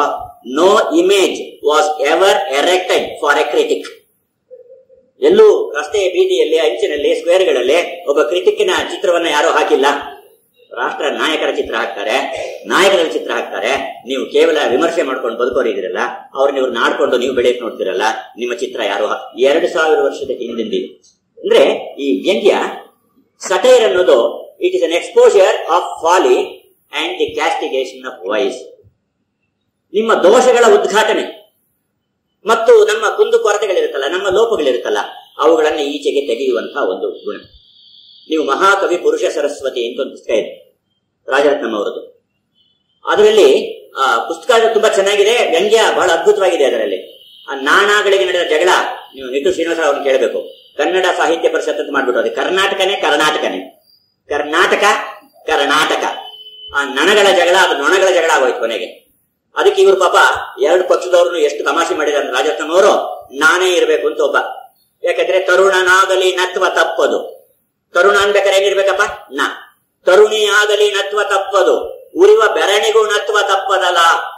ಬೆರಣಿಗೂ ಕೂಡ ನಕಾರ ಇರುತ್ತೆ, ಅದಕ್ಕೆ ನಾ ಇರಬೇಕು ಅಂತ. ಇನ್ನೊಬ್ಬ ನಾ ಇರಬೇಕು. ಕು- ಕುರಿತು ಎಷ್ಟು ಹಾಸ್ಯ ಮಾಡಬಹುದೋ ಅಷ್ಟು ರೀತಿಯಲ್ಲಿ ಅವ್ರು ಹೇಳ್ತಾರೆ. ನಮ್ಮ ಕನ್ನಡ ಕಾವ್ಯದ ಅಲಂಕಾರಗಳು ಯಾವ ರೀತಿ ಬರ್ತವೆ? ಅನ್ನೆಸೆಸರಿ ಅಪೆಂಡೇಜ್ ಅಲಂಕಾರ ಅಂತ ಒಂದಂತೆ. ಅದು ಕರೆದಿರೋದು ಈ ಅಲಂಕಾರಕ್ಕೆ. ಅನ್ನೆಸೆಸರಿ ಅಪೆಂಡೇಜ್ ಎಂಬುವ ಅಲಂಕಾರ ಅನ್ನೋ ಮಾತ್ರ ಹೇಳ್ತಾರೆ ಹಾರ್ಮೋನಿಯಂ ಹರಣ ಅನ್ನೋದರಲ್ಲಿ ಅದರ ಪೀಠಿಕೆಯಲ್ಲಿ ಆ ಮಾತ್ರ ಹೇಳ್ತಾರೆ. ಅದಕ್ಕಿಂತ ಹೆಚ್ಚಾಗಿ ಆ ಪುಸ್ತಕಕ್ಕೆ ರಾಜರತ್ನಂ ಸುಮಾರು ಐದು ಗೋಕಾಕರಿಂದ, ಗೋವಿಂದ ಪೈಗಳಿಂದ ಒಟ್ಟು ಐದು ಪ್ರಬಂಧಗಳನ್ನು ಬರೆಸಿದ್ದಾರೆ. ಸಟೈರನ್ನು ಕುರಿತು. ವಿಡಂಬನೆ ಅಂದ್ರೆ ಏನು? ನಿಜವಾಗಿ ಕನ್ನಡಕ್ಕೆ ಅದು ಒಳ್ಳೆ ಯಾರಾದ್ರೂ ಥೀಸಿಸ್ ಬರೆಯೋರಿಗೆ ಪಿ ಎಚ್ ಡಿ ಕೆಲಸ ಮಾಡೋರಿಗೆ ಅದು ಬಹಳ ಒಳ್ಳೆಯ ಒಂದು ಆಧಾರ ಆಗುವಷ್ಟು ಒಳ್ಳೆಯ ಪ್ರಬಂಧಗಳನ್ನ ಅದರಲ್ಲಿ ಕಾಣಬಹುದು satire is a work of literature which by inspiring laughter contempt or horror, ನಗೆ ತಿರಸ್ಕಾರ ಅಥವಾ ಭಯಾನಕತೆ ಇವುಗಳ ರೂಪದಲ್ಲಿ seeks to correct the follies and abuses it uncovers ತಾನು ಕರೆಯ ಬಯಸುವ ದೋಷಗಳನ್ನ ಉದ್ಘಾಟಿಸುವ ಕೆಲಸವನ್ನ ಅದು ನಗೆಯ ಮೂಲಕ, ಭರ್ಸನೆಯ ಮೂಲಕ ಕುತ್ಸಿತವಾದ ದೃಷ್ಟಿಯ ಮೂಲಕ ಮಾಡುತ್ತೆ. In its ambition to destroy by words ಅಂದ್ರೆ ಶಬ್ದಗಳ ಮೂಲಕ ಒಬ್ಬನ ಹಾಳು ಮಾಡೋದೇ ಅದರ ಉದ್ದೇಶ. ಧ್ವಂಸ ಮಾಡಬೇಕು ಅದಲ್ಲೂ ಒಬ್ಬ ಆರ್ಕಿಲೋಕಸ್ ಅಂತ ಒಬ್ಬ ಗ್ರೀಕ್ ತತ್ವಜ್ಞಾನಿ ಇದ್ದ ಡ್ರಾಮಾಟಿಸ್ಟ್ ಇದ್ದ. ಅವನು ಮಾತಾಡ್ತಾ ಇದ್ರೆ ಅವನ ವಿಡಂಬನೆಗೆ ಒಬ್ಬ ಎದುರಾಳಿನ ಎಷ್ಟು ಅವನು ಬೈದ ಅಂತಂದ್ರೆ ಎಷ್ಟು ಸಕಾರಣವಾಗಿ ಅವನ ಮನೆಗೆ ಹೋಗಿ ಆತ್ಮಹತ್ಯೆ ಮಾಡ್ಕೊಂಡ ಈಗ ಏನು ಅನ್ಸೋದೇ ಇಲ್ಲ ಅಂತ ಇಟ್ಕೊಳ್ಳಿ. ನೀವು ಎಷ್ಟು ಅವರಿಗೆ ಎಷ್ಟು ತಿವಿದು ಬಾಣಗಳೆಲ್ಲ ಸಿದ್ಧ ಮಾಡ್ಕೊಂಡು ಎಷ್ಟು ಬೇಕಾದರೂ ಹೇಳಿ. ಈ ಜನ ತಲೆಗೆ ಹೋಗಲ್ಲ. ಬೇಂದ್ರೆಯವರು ಕಡೆ, ಏಸು ಜನ್ಮದ ಜಾಡ್ಯ ಜವನಿಕೆ ಆಯ್ತು. ಕುಮಾರವ್ಯಾಸ ಹೇಳ್ತಾನೆ, ನಮ್ಗೆ ಅರ್ಥವೇ ಆಗಲ್ಲ. ಕೃಷ್ಣ ಎದುರಿಗೆ ಬಂದ್ರು ಅವ್ರು ಕೃಷ್ಣ ಅಂತ ಗೊತ್ತಾಗಲ್ಲ. ಯಾಕಂದ್ರೆ ಏಸು ಜನ್ಮದ ಜಾಡ್ಯ. ಎಷ್ಟು ಜನ್ಮಗಳ ರೋಗ ನಮ್ದು. ಅದು ಜವನಿಕೆ, ತೆರೆ ಆಯ್ತೋ ಏನೋ. ಬೇಂದ್ರೆಯವರು ಅದನ್ನೇ ಹೇಳ್ತಾರೆ. ಈ ಜನಕ್ಕೆ ಏನ್ ಹೇಳೋಣ? ಒಬ್ಬನಿಗೆ ಸ್ನಾನ ಮಾಡಿಸ್ತಾರಂತೆ. ನಾಲ್ಕು ಖಂಡೆ ಬಿಸಿನೀರು. ನಾಲ್ಕು ಹಂಡೆ ಬಿಸಿನೀರು. ಎರಡು ಡಬ್ಬ ಸೀಗೆ ಪುಡಿ. ಎರಡು ಪಚ್ಚಲು ಉಜ್ಜೋ ಬ್ರಷ್. ಇಷ್ಟು ತಂದು ಅವನಿಗೆ ಸ್ನಾನ ಮಾಡಿಸಿದ್ರೆ ಕೊನೆಗೆ ಒಂದು ಅವನ ಬನಿಯನ್ ಕಾಣಿಸ್ತಾನೆ. ಅಷ್ಟೆಲ್ಲ ಮಾಡಿದ್ಮೇಲೆ ಅವನು ಇಂಥ ಕೊಳಕು ನಮ್ಮಲ್ಲಿ ತುಂಬಿಕೊಂಡಿದೆಯಲ್ಲ, ಈ ಕೊಳಕನ್ನ ಎತ್ತಿ ತೋರೋದೇನೆ ಸಟೈರ್ನ ಉದ್ದೇಶ. ಆದ್ರಿಂದ ಅವರ ಭಾಷೆ ಕೂಡ ಆ ಉಗ್ರವಾಗಿದ್ದಾಗ ನೀವು ಅದನ್ನ ಕ್ಷಮಿಸಬೇಕಾಗುತ್ತೆ. ಅವ್ರ ಉದ್ದೇಶ ಅದಲ್ಲ. ಅವರ ಉದ್ದೇಶ ನಿಜವಾಗಿ ನೇರವಾದ ಕಡೆ ನೈಜವಾದ ಕಡೆ ಹೋಗೋದಾಗುತ್ತೆ. In its ambition to destroy by words. Satire resembles the incantations and charms of private magic or rituals used in early cultures by exorcising evil or cursing enemies. ಹಿಂದೆ ಮಂತ್ರ ಹೇಳ್ತಾ ಇದ್ರು. ಮಂತ್ರ ಶಕ್ತಿಯಿಂದ ಅಭಿಚಾರ ಅಂತ ಕರೀತಾರೆ ಇದನ್ನ. ಈ ಶಕ್ತಿಯಿಂದ ಇನ್ನೊಬ್ಬರಿಗೆ ಅನ್ಯಾಯ ಮಾಡ್ತಾ ಇದ್ರು, ಹಾನಿ ಮಾಡ್ತಾ ಇದ್ರು ತನಗೆ ಅನ್ಯಾಯ ಮಾಡೋನ್ನ ನಾಶ ಮಾಡ್ಬಿಡ್ತಾ ಇದ್ರು. ಈಗ ನಮಗೆ ಆ ಶಕ್ತಿ ಹೋಗ್ಬಿಟ್ಟಿದೆ. ಆದ್ರಿಂದ ಸತೈರ್ನಲ್ಲಿ ಆ ಎಕ್ಸಾರ್ಸೈಸ್ ಅಂತ ಹೇಳ್ತೀವಲ್ಲ, ಆ ಮ್ಯಾಜಿಕ್ ಹಿಂದೆ ಮಾಡ್ತಾ ಇದ್ದಂತಹ ಒಂದು ಮಂತ್ರ ಕಲ್ಪದ ಶಕ್ತಿ, ನಮ್ಮಲ್ಲಿ ಅಭಿಚಾರದ ಶಕ್ತಿ, ಭಾಷೆಯಲ್ಲಿ ಇವತ್ತು ಬರ್ತಾ ಇದೆ. ಅದು ಸಟೈರ್ನ ಮೂಲ ಉದ್ದೇಶಗಳಲ್ಲಿ ಒಂದು. ಅದು ಬೇಕಾದಷ್ಟು ರೂಪದಲ್ಲಿ ವ್ಯಕ್ತವಾಗುತ್ತೆ ಅಂತ ಹೇಳಿ, ಅದು ಐರನಿ ಅಂದ್ರೆ ವ್ಯಂಗ್ಯ ಅಂತ ಹೇಳಿ. ಮಾಕರಿ ಎಕ್ಸಾಗ್ರೇಷನ್ ಈ ಎಕ್ಸಾಗರೇಷನ್ ಅಂದ್ರೆ ಅತ್ಯುಕ್ತಿಗಳನ್ನ ಯಾಕೆ ಬಳಸ್ತೀವಿ ನಾವು? ನೇರವಾಗಿ ಗೊತ್ತಾಗಲಿ ಅಂತ ಒಬ್ಬ ಮೇಷ್ಟ್ರ ಹೇಳ್ತಾ ಇದ್ದಂತೆ. ಹುಡುಗ ತುಂಬಾ ಸುಳ್ಳು ಹೇಳೋನು. ತುಂಬಾ ಅತ್ಯುಕ್ತಿ. ಅತ್ಯುಕ್ತಿ ಮಾಡಬೇಡ. ಎಕ್ಸಾಗರೇಟ್ ಮಾಡಬೇಡ, ಉತ್ಪ್ರೇಕ್ಷೆ ಮಾಡಬೇಡ ಮಾಡಬೇಡ ಅಂತ ಸಾವಿರ ಸಲ ಹೇಳಿದ್ದೀನಿ ನಿನಗೆ. ಮೇಷ್ಟ್ರ ಹೇಳ್ತಾ ಇದ್ದಾನೆ. ಸಾವಿರ ಸಲ ಹೇಳಿದ್ದೀನಿ ನಿನಗೆ. ಅಷ್ಟು ಜ್ಞಾನ ಇಲ್ವಾ ನಿನಗೆ? ಇವನು ಸಲ ಹೇಳಿದ್ದಾನೆ? ಸಾವಿರ ಸಲ ಹೇಳಿಲ್ಲ. ಅವನು ಹೇಳೋದು ಹತ್ತೇ ಸಲ. ಆದ್ರೆ ಅವನೇ ಆ ಮಾತನಾಡ್ತಾನೆ ಈ ಅತ್ಯುಕ್ತಿಗಳನ್ನ ಶಿವರಾಮ್ ಅವರು ಒಂದ್ ಕಡೆ ಹೇಳ್ತಾರೆ. ಈ ದೊಡ್ಡ ಆಸ್ಪತ್ರೆ ಇದೆಯಲ್ಲ, ಸರ್ಕಾರಿ ಆಸ್ಪತ್ರೆ ಅದರ ಮುಂದೆ ಒನ್ ವೇ ಅಂತ ಬೋರ್ಡ್ ಹಾಕಿದ್ದಾರೆ. ಇರ್ಬೋದು, ಆದ್ರೆ ಕಾರಲ್ಲಿ ಹೋಗೋರಲ್ಲಪ್ಪ ಪೇಷಂಟ್ಸ್ ನೋಡ್ತಾರಲ್ಲ, ಅದನ್ನ ಅವ್ರ ಗತಿ ಏನು ಅಂತ ಹೇಳಿ ಪಾಪ ಪೇಷಂಟ್ಸ್ ಹೋಗುವಾಗ ಆಸ್ಪತ್ರೆ ಒಳಗೆ ಒನ್ ವೇ ಅಂತ ನಿಮಗೆ ಬೋರ್ಡ್ ಕಾಣಿಸಿದ್ರೆ, ಈಗ ಮಾತ್ರ ಹೋಗ್ಬೋದು. ನೀವು ಹಾಗೆ ವಾಪಸ್ಸು ಬರೋದಿಲ್ಲ, ನಾವು ಬೇರೆ ದಾರಿ ಮಾಡ್ತೀವಿ ಅದಕ್ಕೆ. ಅಂತ ಹೇಳಿದ್ರೆ, ಇದು ಇದು ನಿಜವಾಗಿ ವ್ಯಂಗ್ಯದ ಒಂದು ಪರಮಾವಧಿ ಅಂತ ಅನ್ಸುತ್ತೆ ಈ ಮಾತುಗಳೆಲ್ಲ. ಅದು ಐರಣಿ ಮಾಕರಿ ಎಕ್ಸಾಗರೇಷನ್ ಅಣಕ ಹಾಗೆ ಅತ್ಯುಕ್ತಿ ಅಂಡರ್ ಸ್ಟೇಟ್ಮೆಂಟ್ ಒಂದೊಂದ್ಸಲ ಹೇಳಿಕೆಗಳಿರುತ್ತೆ. ಪೂರ್ಣ ಮಾತಲ್ಲ ಅದು, ಒಳ ಹೇಳಿಕೆಗಳಿರುತ್ತೆ, ಇಂಗಿತಗಳಿರ್ತವೆ ಅಂಡ್ ದೆನ್ ನೇಮ್ ಕಾಲಿಂಗ್ ಇದು ಹೊರಟಿದೆ ಬೈದೇ ಬಿಡೋದು. ಲಕ್ಷಣವಾಗಿ ಬೈದೇ ಬಿಡೋದು. So the ultimate purpose of satire is to attack vice and folly ಅಂತ ಒಬ್ಬ ಹೇಳ್ತಾರೆ. ನಿಜವಾಗಿ ದೋಷಗಳನ್ನ ಹೊಡೆದಾಕೋದೇನೆ ಅದರ ಉದ್ದೇಶ it lashes at lechery ದುಷ್ಟತನ avarice greed political corruption and urban decadence ನಾನು ಆ ಭಾಗಕ್ಕೆ ಬರ್ತಾ ಇದ್ದೀನಿ ಇವಾಗ. ಈ political corruption and urban decadence ಈ ರಾಜಕೀಯ ಅವಸರ್ಪಿಣಿ ಇದೆಯಲ್ಲ? ಈ ರಾಜಕೀಯ ಅವಸರ್ಪಿಣಿ ಮತ್ತು ಈ ಅರ್ಬನ್ ಡಿಕೆಡೆನ್ಸ್ ನಗರಗಳಲ್ಲಿ ಆಗಿರತಕ್ಕಂತಹ ಒಂದು ಅವನತಿ ಇದೆಯಲ್ಲ. ನಮ್ಮ ಮೌಲ್ಯಗಳೆಲ್ಲ ಕುಸಿದೋಗ್ತಾ ಇದೆಯಲ್ಲ. ನಮಗೆ ಯಾವುದು ಸರಿ ಅಂತ ತಿಳ್ಕೊಳ್ಳುವಂತಹ ಒಂದು ಬೌದ್ಧಿಕ ನಿಲುವೇ ಇದ್ದಂತೆ ಹೋಗ್ತಾ ಇದೆಯಲ್ಲ?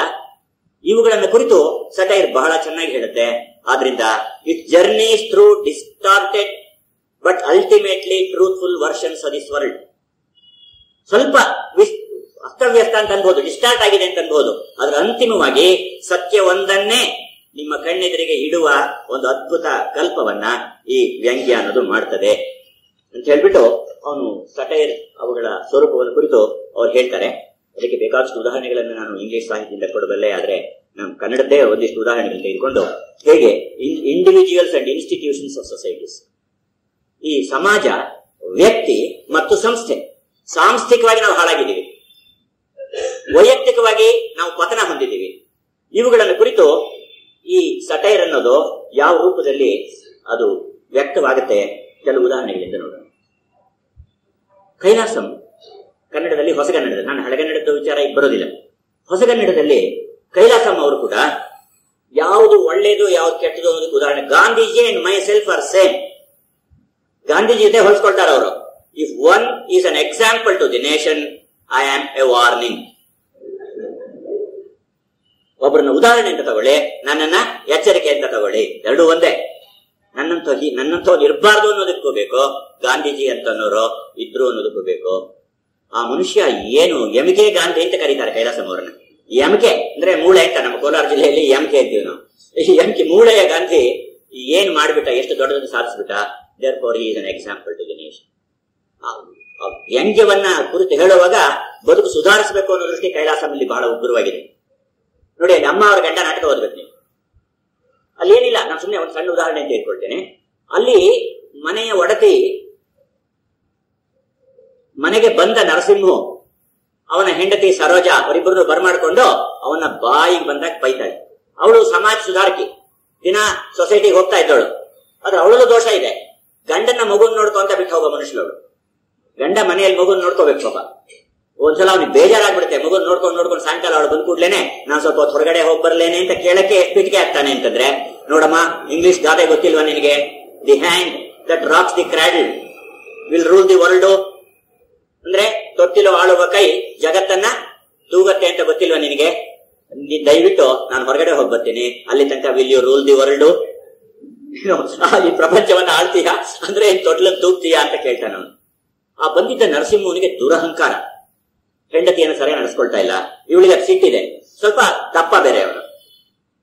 ಅವಳಿಗೆ ಕೊಳಕ್ ಸೀರೆ ಇಡಿಸ್ಕೊಂಡ್ ಬಂದಿದ್ದಾನೆ. ಇವನ್ ಮಾತ್ರ ಜೋರಾಗಿ ಗಾಡಿನಲ್ಲಿ ಪ್ರಯಾಣ ಮಾಡ್ತಾನೆ. ನಡ್ಸ್ಕೊಂಡ್ ಬಂದಿದ್ದಾನೆ ಅವಳನ್ನ. ಅವಳು ಎಷ್ಟು ತಿರಸ್ಕಾರದಿಂದ ಕಾಣಬಹುದು ಇದನ್ನು ವ್ಯಂಗ್ಯ ಇದೆ, ಬೇರೆ ಭಾಷೆ ಆಗದೇ ಇಲ್ಲ ಅದಕ್ಕೆ ಅವಳು ಹೇಳ್ತಾಳೆ, ಅವನು ತುಂಬಾ ದಪ್ಪ ಇದ್ದಾನೆ ಅಂತ ಹೇಳ್ಬೇಕಲ್ಲ. ಇಂಗ್ಲಿಷ್ ನಲ್ಲೇ ಈ ಭಾಷೆಗೆ ಅರ್ಥ ಇಲ್ಲ. You a man with a big future before you future future ಅಂದ್ರೆ ಭವಿಷ್ಯ ಅನ್ನೋ ಅರ್ಥ ಇದೆ ಇಂಗ್ಲಿಷ್ನಲ್ಲಿ ಅಷ್ಟೇನೆ. ಈ ಹೊಟ್ಟೆ ಫ್ಯೂಚರ್ ತಾನೆ ಇವನಿಗೆ. ಸ್ವಂತ ಖರ್ಚಲ್ಲಿ ಬೆಳೆಸ್ಕೊಳ್ಬಹುದಾದ ಅದೊಂದೇ ತಾನೆ. ಬೊಜ್ಜು ಅನ್ನೋದಕ್ಕೆ ಫ್ಯೂಚರು ಬಿಫೋರ್ ಯು ಇವನಿಗೆ ಫ್ಯೂಚರು ನನಗೆ ಎಂತಾಳಲ್ಲ ಅಂದ್ರೆ ಅವನ್ ಹೇಳ್ತಾನೆ, ಅವ್ನ್ ಗಂಡನೂ ಸೇರ್ಕೊಳ್ತಾನೆ ಅದರಲ್ಲಿ. ನೋಡಪ್ಪ, ಮೊದ್ಲಿಂದ ಫುಟ್ಬಾಲ್ ಆಡ್ತಾ ಇದ್ದೆ ಅಲ್ವಾ ನೀನು? ನೀನ್ ಕ್ಯಾಪ್ಟನ್ ಅಲ್ವಾ? ನೀನು ಸೆಂಟರ್ ಫಾರ್ವರ್ಡ್ ಅಲ್ವಾ? ಅದಕ್ಕೆ ನೀನ್ ಸೆಂಟರ್ ಸ್ವಲ್ಪ ಫಾರ್ವರ್ಡ್ ನೀನು ಸೆಂಟರ್ ಸ್ವಲ್ಪ ಫಾರ್ವರ್ಡ್ ಈ ವ್ಯಂಗ್ಯವನ್ನ ಗಂಡ ಹೆಂಡತಿ ಸೇರ್ಕೊಂಡು ಪಾಪ ಈ ರೀತಿ ವಾಲಿಬಾಲ್ ಆಡ್ಬಿಟ್ರೆ, ಒಬ್ಬ ಮನುಷ್ಯನ ಗತಿ ಏನಾಗ್ಬೇಕು? ಆ ಕೊನೆಗೆ ಅವ್ನಿಗೆ ಹೆದರಿಕೆ ಬೇಜಾರಾಗ್ಬಿಡುತ್ತೆ? ಹೊಟ್ಟೋಗ್ತೀನಿ ಇವ್ರು ಸವಾಸ ಇರೋದಿಲ್ಲ ಹೊಟ್ಟೋಗ್ತೀನಿ ನಾನು ಹೆಂಡತಿನ ಗಾಡಿಲೇ ಕರ್ಕೊಂಡು ಹೋಗ್ತೀನಿ ಹೊಟ್ಟೋಗ್ತೀನಿ ಅಂತಾನೆ ಅದ್ರೊಳ ನಾಯಿ ಕಟ್ಬಿಟ್ಟಿರ್ತಾರೆ ಆಚೆ. ಟೈಗರ್ ಅದು. ಒಳ್ಳೆ ಭಯಂಕರವಾಗಿರುತ್ತೆ ಅದು. ಕಟ್ಟಿರ್ತಾರೆ ನಿಜ. ಆದ್ರೂ ಅದು ಎಲ್ಲಿ ಕಿತ್ಕೊಂಡ್ಬಿಡುತ್ತೋ ಅಂತ ಹೆದರಿಕೆ ಇವನಿಗೆ ಅದಾಗ್ಲೇ ಹೋರಾಡ್ತಾ ಇದೆಯಂತೆ. ತು ಕಿತ್ಕೊಳ್ಳು ಅವ್ರ ನಾಟು ಕಿತ್ಕೊಳ್ಳು ಅಂತ ಹೇಳ್ಬಿಟ್ಟು ಹೊಡೆದಾಡ್ತಾ ಇದೆಯಂತೆ. ಕೊನೆಗೆ ಇವಳು ಹೇಳ್ತಾಳೆ ನನ್ನ ಗಂಡನ್ ಯಾಕೆ ಅಷ್ಟು ಗೋಳಿ ಬತ್ತೀಯ ನಾವು ಹೊರಟೋಗ್ತೀವಿ ಇವಾಗ. ವಿಪರೀತ ಅಂದಿದೀಯ ಸಾಕಣೆ ನಾಯಿ ಏನು ಮಾಡಲ್ಲ ಅಂತ ಹೇಳ್ಬಿಡು. ಅಂದಾಗ ಆ ಕೂಡ ಅವಳು ತಿರಸ್ಕಾರ ವ್ಯಂಗ್ಯ, ವಿಡಂಬನೆ ಯಾವ ರೀತಿ ಇದೆ ಅಂದ್ರೆ, ಏನ್ ಹೆದರ್ಬೇಡ ಅಂತ ಹೇಳು ನಿನ್ ಗಂಡನಿಗೆ. ಹೋಗು, ಆ ನಾಯಿ ಏನು ಮಾಡಲ್ಲ. ಯಾಕಂದ್ರೆ ಅದು ಹಂದಿ ಮಾಂಸ ಕಂಡ್ರೆ ಆಗಲ್ಲ. ನಾಯಿಗೆ ಹಂದಿ ಮಾ ಇವನು ಹಂದಿ ಅಂತ ಅವಳು ಬಾಯ್ಬಿಟ್ಟು ಹೇಳಿಲ್ಲ ಪಾಪ.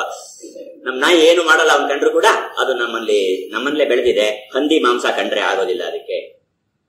ಇದು ನಿಜವಾಗಿ ಎಷ್ಟು ವ್ಯಕ್ತಿಯ ದೋಷಗಳನ್ನ ಉದ್ಘಾಟಿಸುವ, ಅವುಗಳನ್ನ ಆಚೆಗೆ ತೆಗೆದು ಎಸೆಯುವ, ಪಂಚರ್ ಮಾಡುವ ದೊಡ್ಡ ದೊಡ್ಡ ಮಾತು ಬಲೂನು ಹಿಗ್ಗಿದಾಗೆಲ್ಲ ಅಹಂಕಾರ ಮೆರೆದಂತೆಲ್ಲ, ಅದಕ್ಕೆ ನಿಜದ ಸೂಜಿ ಮನೆಯನ್ನ ತಾಕಿಸುವ ಮನೋಧರ್ಮ ಹೇಗಿದೆ?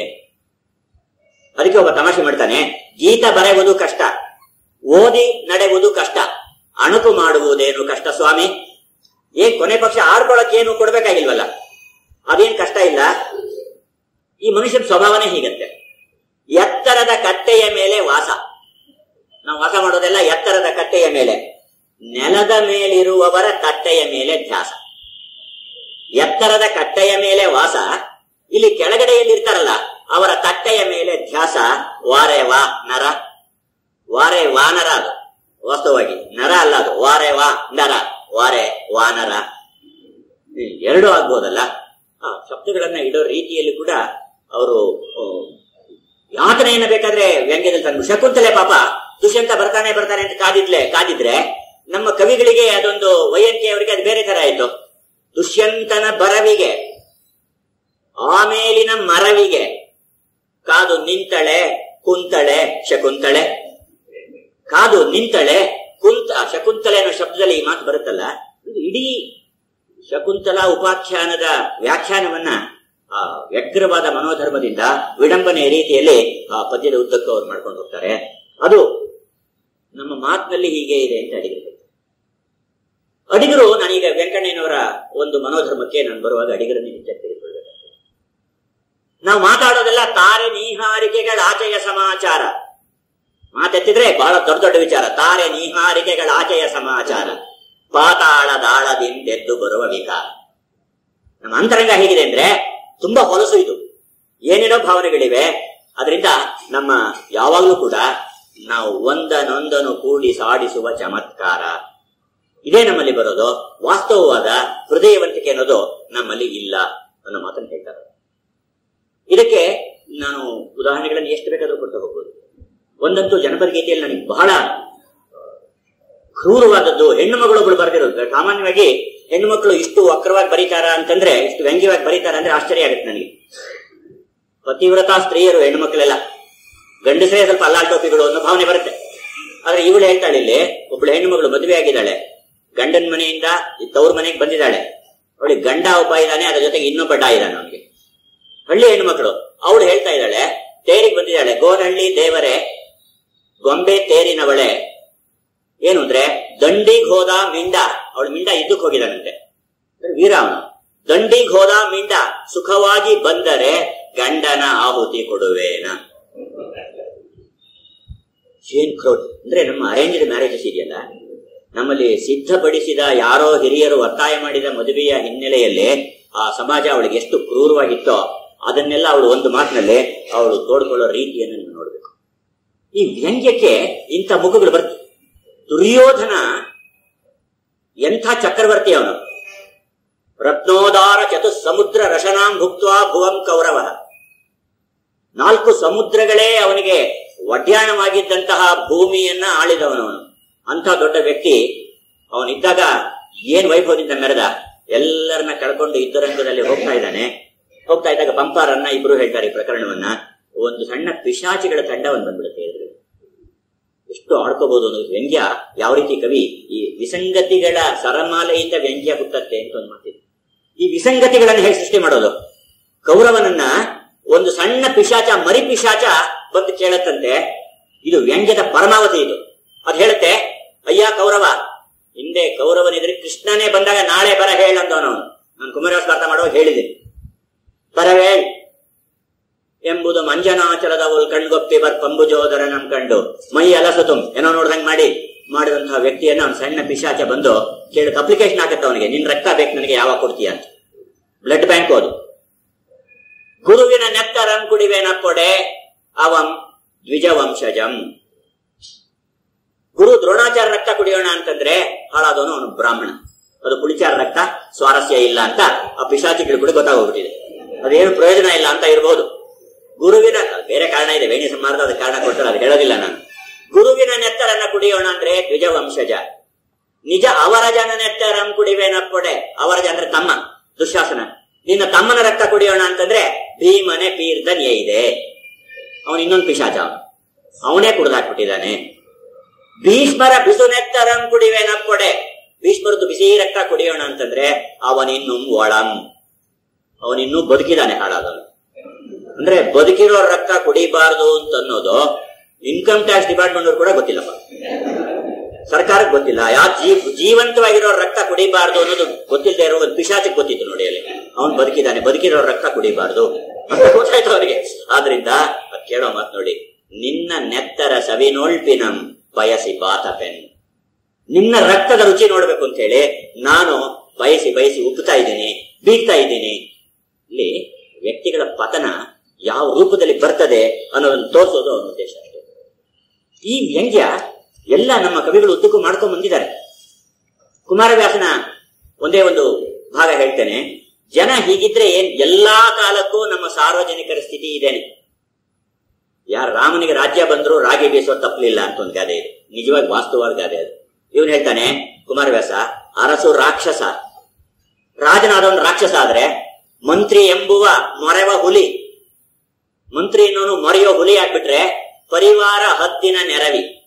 ನೆರವಿ ಅಂದ್ರೆ ಸಮೂಹ ಅಂತ. ಹದ್ದುಗಳ ಪರಿವಾರ ಅಂದ್ರೆ ಬ್ಯೂರೋಕ್ರಸಿ ಸೆಕ್ರೆಟರಿಯೇಟ್ ಕ್ಲಾರ್ಕ್ಗಳು ಆಫೀಸರ್ಸು ಅರಸು, ರಾಕ್ಷಸ, ಮಂತ್ರಿ ಎಂಬುವ ಮೊರೆವ ಹುಲಿ.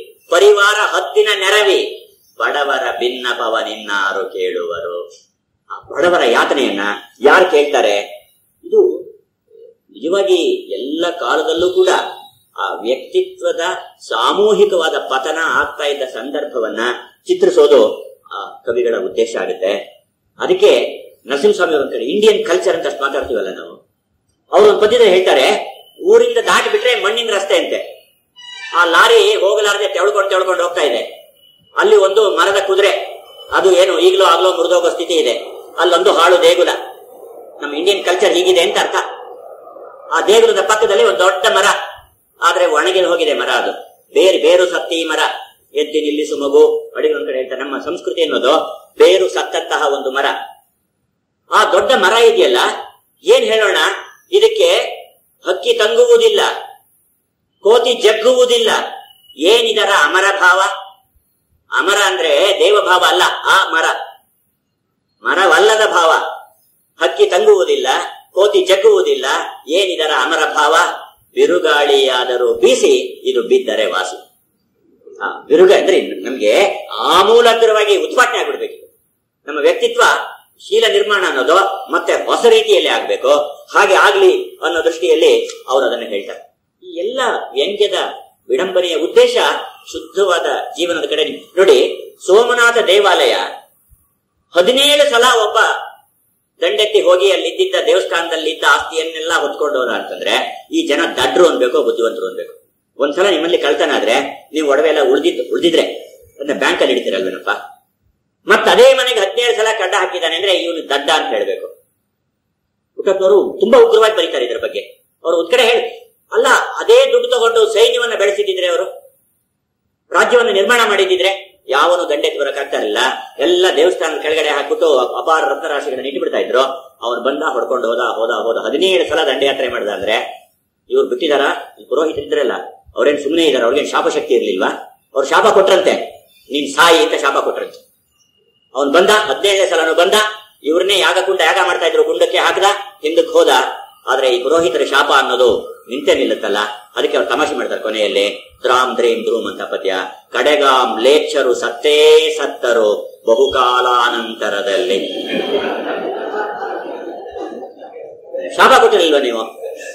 ಬಹುಕ ಅಂದ್ರೆ ಯಾವಾಗ ಅಂದ್ರೆ ಬ- ತಮ್ಮ ಊರಿಗೆ ಹೋಗಿ ಆಸ್ತಿ ಪಾಸ್ತಿ ಎಲ್ಲ ಮಾಡ್ಕೊಂಡು ಮಕ್ಕಳು ಮರಿನೆಲ್ಲ ಬೆಳೆಸಿ ವಯಸ್ಸಾದ ಮೇಲೆ ಎಷ್ಟೋ ದಿವಸ ಆದ್ಮೇಲೆ ಕಡೆಗಾಮ್ ಲೇಚರು ಸತ್ತೇ ಸತ್ತರು ಬಹುಕಾಲಾನಂತರದಲ್ಲಿ. ಇದು ನಿಜವಾಗಿ ವ್ಯಂಗ್ಯದ ಮುಖಗಳನ್ನ ತೋರಿಸುವಂತಹ ಒಂದು ವಿಷಯ. ಲಾಂಗುಲಾಚಾರ್ಯ ಅಂತ ಒಬ್ರು ಇದ್ದಾರೆ. ಅವರ ವಾನರಾಯಣ ಅಂತ ಒಂದು ಪ್ರಬಂಧ ಇದೆ. ವಿಪರೀತ ಅನ್ನೋ ಪ್ರಬಂಧ ಸಂಕಲನದಲ್ಲಿ ಓದ್ಬೇಕು ಅದನ್ನು ಈ ವಾನರಾಯಣ ಅನ್ನೋದು ಆಧುನಿಕ ರಾಜಕೀಯಕ್ಕೆ ಸಂಬಂಧಪಟ್ಟಿದ್ದು. ಏನಿಲ್ಲ. ರಾಮಾಯಣದಲ್ಲಿ, ರಾಮ ಹಿಂದಕ್ಕೆ ಬಂದಾಗ ಪುಷ್ಪಕ ವಿಮಾನದಲ್ಲಿ ಕೆಲವರು ವಾನರನ್ನು ಕರ್ಕೊಂಡ್ಬಂದ ಅವ್ರು ಬಂದಿದ್ರಲ್ಲ ಪಟ್ಟಾಭಿಷೇಕಕ್ಕೆ ಅಂತ ಹೇಳಿ. ನಮ್ಮ ದೇಶಕ್ಕೆ ಸ್ವಾತಂತ್ರ್ಯ ಬಂತಲ್ಲ. ಆಗ ಕಾಂಗ್ರೆಸ್ ಪುಡಾರಿಗಳಿದ್ರು ಇಲ್ಲೆಲ್ಲ. ಜೈಲಿಗೆ ಹೋದವರೆಲ್ಲ ಇದ್ರಲ್ಲ, ಅವ್ರಿಗೆ ಹೋಲಿಕೆ ತಗೊಂಡು ಹೇಳಿಲ್ಲ ಎಲ್ಲೂ ಅವರು. ಈ ಮಾತು ಹೇಳೋದೇ ಇಲ್ಲ. ಅವೇನ್ ಮಾಡ್ಬಿಟ್ಟು ಮತ್ತೆ ಸ್ವಲ್ಪ ದಿವಸ ಆದ್ಮೇಲೆ ವಸಿಷ್ಠರ ಮಾತು ಕೇಳ್ತಾ ಇರಲ್ಲ ಮಂತ್ರಿಗಳು ತಾನೇ ಅವ್ರ. ಮಾತು ಕೇಳ್ತಾ ಇರಲಿಲ್ಲ. ಏನಿಲ್ಲ. ಊರಿನಲ್ಲಿ ವಿಪರೀತ ದಾಂಡ್ಲೆ ಮಾಡೋಕ್ ಶುರು ಮಾಡೋದು ಯಾಕೆಂದ್ರೆ ನಾವು ರಾಮನಿಗೆ ಸ್ವಾತಂತ್ರ್ಯ ತಂದ್ಕೊಟ್ಟವರು. ಸೀತೆಯನ್ನು ಬಿಡಿಸ್ಕೊಂಡ್ ಬಂದವರು ನಾವು. ಹೋರಾಡಿದವರು ನಾವು ಅಂತ ಹೇಳ್ಬಿಟ್ಟು ಕೊನೆಗೆ ಯಾರ್ಯಾರು ಅಂತ ವಾನರ ಇದರಿಂದ ಕಿಷ್ಕಿಂದೆಯಿಂದ ಇನ್ನೂ ಅನೇಕ ವಾನರ ಬರಕ್ ಶುರು ಆಗ್ಬಿಟ್ರು. ಅವರು ಫ್ರೀಡಮ್ ಪೆನ್ಷನ್ ತೊಳಕ್ ಶುರು ಮಾಡ್ಬಿಟ್ರು. ಈ ಫೈಟ್ ಇದು ಇದೆಯಲ್ಲ, ಸೃಷ್ಟಿ ಮಾಡ್ತಲ್ಲ? ಹಾಕ್ತಾ ಹೋಗ್ಬಿಟ್ರಂತೆ ಕೊನೆಗೆ ವಸಿಷ್ಠರು ತಡಿಲಾರ ಎಷ್ಟು ಜನ ಎಷ್ಟು ಜನ ಹೋಗಿದ್ದಿರ್ಬೋದಪ್ಪ? ಇವ್ರೇನು ಈಗ ಬರ್ತಾನೆ ಇದ್ದಾರೆ ಬರ್ತಾ ಎಲ್ಲಾರ್ಗು ಪೆನ್ಷನ್ ಎಲ್ಲಾರ್ಗೂ ಇದು ಏನಿದು ಅಂತ ಹೇಳಿ ಕೊನೆಗೆ ಸರ್ಟಿಫಿಕೇಟ್ ಬೇಕು ಅಂತ ಕೇಳಿದ್ರು. ನಿಮ್ಗೆ ಹೋರಾಡಿದ್ದಕ್ಕೆ ಗಾಯ ಆಯ್ತು ಅನ್ನೋದಕ್ಕೆ ಸರ್ಟಿಫಿಕೇಟ್ ಬೇಕು ಅಂದ್ರೆ ಕೋದಿಗಳು ಕೇಳ್ಬೇಕೆ, ಎಲ್ಲ ಕಡೆ ಗಾಯ ಮಾಡ್ಕೊಂಡು ಯಾವ ಡಾಕ್ಟರ್ ಹತ್ರ ಹೋಗಿ ಔಷಧಿ ತಗೊಂಡು ಎಲ್ಲ ಸರ್ಟಿಫಿಕೇಟ್ ಕೊಟ್ಬಿಟ್ಟು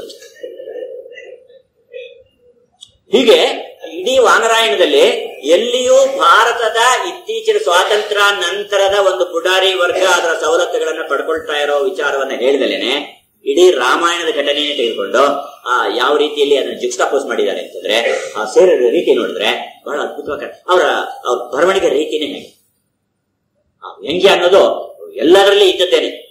ಕವಿಗಳಿಗೆ ವಕ್ರತೆ ಕಾಣುತ್ತೆ ಅಂತ ಇಟ್ಕೊಳ್ಳಿ. ಐದು ಜನ ಹತ್ರ ದ್ರೌಪದಿ ಬಾಳ್ತಾ ಇದ್ಲಲ್ಲ ಪಾಪ ಹೇಗಿರ್ಬೋದು ಅವಳು? ಮನೆಯಲ್ಲಿ ಗಲಾಟೆ ಆಗಿರುತ್ತೆ. ಯಾರ್ಯಾರ ಮನೇಲಿ ಇರ್ಬೇಕು ಇವ್ರ ಮನೆಗೆ ನೆಂಟರು ಬಂದಾಗ ದ್ರೌಪದಿ ಯಾರ ಮನೆಗೆ ಹೋಗ್ಬೇಕು? ಅವನ ಮನೆಗೆ ಬಂದಾಗ ಎಲ್ಲಿರ್ಬೇಕು? ಈ ಗಲಾಟೆ ಆಗಿರ್ಬೋದಲ್ಲ. ಕೊನೆಗೆ ಒಂದ್ಸಲ ವಿಪರೀತಕ್ಕೆ ಹೋದಾಗ ಅವಳಿಗೆ ಎಷ್ಟು ಸಂಕಟ ಆಗಿದೆ ಅಂತ ಹೇಳಲ್ಲ ಕವಿ ಒಬ್ಬ. ಕನ್ನಡದ ಪ್ರಬಂಧಕಾರ ವಿಡಂಬನೆ ಮಾಡ್ತಾನೆ, ದ್ರೌಪದಿ ನಿಟ್ಟಿದ್ರು ಬಿಟ್ಲಂತೆ, ಸದ್ಯ ನನ್ನ ಪುಣ್ಯ. ಕುಂತಿ ಕೇಳ್ತಾಳೆ, ಯಾಕಮ್ಮ ಪುಣ್ಯ ಅಂತೀಯ ಅಂದ್ರೆ, ಸದ್ಯ ಅರ್ಜುನ ಧನುಸನ ಮುರಿದು ನನ್ನ ಮದುವೆಯಾದ ಕೌರವ ಏನಾದ್ರೂ ಮದುವೆ ಆಗ್ತಿದ್ರೆ ಏನ್ ಗತಿ?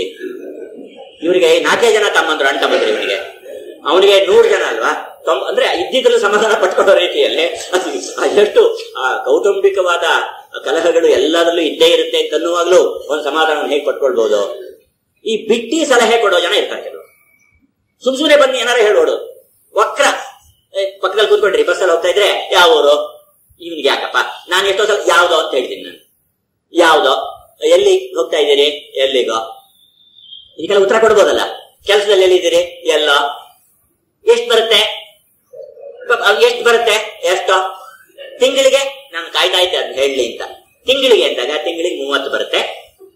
ಒಂದೊಂದ್ಸಲ ಮೂವತ್ತೊಂದು ಬರುತ್ತೆ ಅಂತ ಹೇಳಿದೆ ನಾನು. ಅಲ್ಲಿ ತನಕ ಅಲ್ಲಿ ತನಕ ಅವ್ನಿಗೆ ಅರ್ಥವಾಗಿ ಆಗ್ಲಿಲ್ಲ ಪಾಪ. ಆಮೇಲೆ ತಿಂಗಳಿಗೆ ಮೂವತ್ತು ಅಥವಾ ಮೂವತ್ತೊಂದು ಬರುತ್ತೆ. ಒಂದೊಂದು ವರ್ಷ ಇಪ್ಪತ್ತೆಂಟು ಬರೋದು ಇಪ್ಪತ್ತೊಂಬತ್ತು ಬರೋದು ಉಂಟು. ಈ ಪುಕ್ಕಟ ಸಲಹೆ ಕೊಡೋರು? ಚಳಿ ವಿರುದ್ಧ ನಿಮ್ಮ ರಕ್ಷಣೆ ಏನು? ಅವರು ಮೊಟ್ಟೆ ತಿನ್ಬೇಕು ಅಂತಾರಂತೆ ಇವ್ರಿಗೆ ಇವನು ಬ್ರಾಹ್ಮಣ, ಲಾಂಗುಲಾಚಾರ್ಯ. ಇವನ ಹತ್ರ ಬಂದವರು, ನೀವು ಮೊಟ್ಟೆ ತಿನ್ಬೇಕು. ಇವನು ರೇಗಿಸ್ಬೇಕು ಅಂತ ಏನ್ ಮಾಡ್ತಾರೆ? ಯಾವ್ದಾದ್ರು ತಲಹೆಟ ಪ್ರಶ್ನೆ ಕೇಳಿದಾಗ ನೀವು ಅದಕ್ಕೆ ವಿರುದ್ಧವಾದ ಉತ್ತರ ಕೊಟ್ಬಿಡ್ಬೇಕು. ಇವ್ರು ಹೇಳ್ತಾರೆ, ನಾನ್ ತಿಂದಿದ್ದೇನೆ. ಯಾವ್ಯಾವುದು? ವನಸ್ಪತಿ ಮೊಟ್ಟೆ, ದೇಶಿ ಕೋಳಿ ಮೊಟ್ಟೆ, ಲೆಕ್ಕಾರನ್ ಮೊಟ್ಟೆ, ಕುದುರೆ ಮೊಟ್ಟೆ. ಕುದುರೆ ಮೊಟ್ಟೆ ಕೇಳಿಯೇ ಇಲ್ವಲ್ಲ? ಕುದುರೆ ಮೊಟ್ಟೆ ಅನ್ನೋದು ಒಬ್ಬ ಪ್ರಭಾಕರ್ ಅಂತ ಕಾಮರೂಪಿ ಅನ್ನೋನು ಬರೆದಿರೋದು ಒಂದು ಕಥೆ. ಅದನ್ನ ಇವ್ರು ಹೇಳ್ತಾ ಇರೋದು. ಕುದುರೆ ಮೊಟ್ಟೆನೂ ತಿಂದಿದ್ದೀನಿ. ಇನ್ನೊಬ್ರು ಹೇಳ್ತಾರೆ, ರಿಟೈರ್ ಆಗ್ಬಿಟ್ಟಿದ್ದೀರಲ್ಲ? ಉತ್ಕಟಾನಂದರು ಅಧ್ಯಾತ್ಮ ಕ್ಲಾಸ್ಗೆ ಯಾಕೆ ಸೇರ್ಬಾರ್ದು ನೀವು? ಇವನು ಬಿಟ್ಟಿ ಸಲಹೆ. ಉತ್ಕಟಾನಂದರು ಅಧ್ಯಾತ್ಮ ಸಲಹೆಗೆ. ಇವನು ಹೇಳ್ತಾನೆ, ರಿಟೈರ್ ಆದ್ರೆ ಅಧ್ಯಾತ್ಮ ಯಾಕೆ ಅಭ್ಯಾಸ ಮಾಡಬೇಕು? ಅಲ್ಲ, ಅಧ್ಯಾತ್ಮ ಅನ್ನೋದು ಮೊದ್ಲಿಂದ ಬರಬೇಕು. ರಿಟೈರ್ ಆದ್ಮೇಲೆ ಭಗವದ್ಗೀತೆ ಹೇಳ್ಕೊಳಕ್ಕಾಗತ್ತಾ ಅದಕ್ಕೆ, ಇಲ್ಲ, ಆತ್ಮದ ಅಸ್ವಸ್ಥತೆಗೆ. ನಿಮ್ಮ ಆತ್ಮ ದೇಹ ಅಲ್ಲ, ಆತ್ಮ ಅಸ್ವಸ್ಥವಾಗಿದೆ. ಇವ್ರು ಹೇಳ್ತಾರೆ ಅದಕ್ಕೆ ಕೆಟ್ಟ ಕೆಲಸ ಮಾಡೋಕ್ ಹೊರಟ್ರೆ ನನ್ನ ಆತ್ಮ ಬೇಡ ಅಂತ ಇನ್ನೂ ಹೇಳ್ತಾ ಇದೆ, ಆದ್ರಿಂದ ನನ್ನ ಆತ್ಮ ಅಸ್ವಸ್ಥ ಆಗಿಲ್ಲ. ಇವತ್ತು ಕೆಟ್ಟ ಕೆಲಸ ಮಾಡಬೇಡ ಅಂತ ನನ್ನ ಆತ್ಮ ಹೇಳುತ್ತೆ. ಹಾಗಲ್ಲ, ಒಳ್ಳೇದು ಕೆಟ್ಟದ್ದು ಎರಡರ ದ್ವಂದ್ವವನ್ನು ಅಳಿಸುವ ಶಕ್ತಿ ಆತ್ಮಜ್ಞಾನಕ್ಕೆ ಇದೆಯಲ್ಲ. ಆದ್ರಿಂದ ನೀವು ಅದನ್ನ ಯಾಕೆ ಉತ್ಕಟಾನಂತರ ಈ ಅಧ್ಯಾತ್ಮದ ಕ್ಲಾಸಿಗೆ ಯಾಕೆ ಹೋಗ್ಬಾರ್ದು?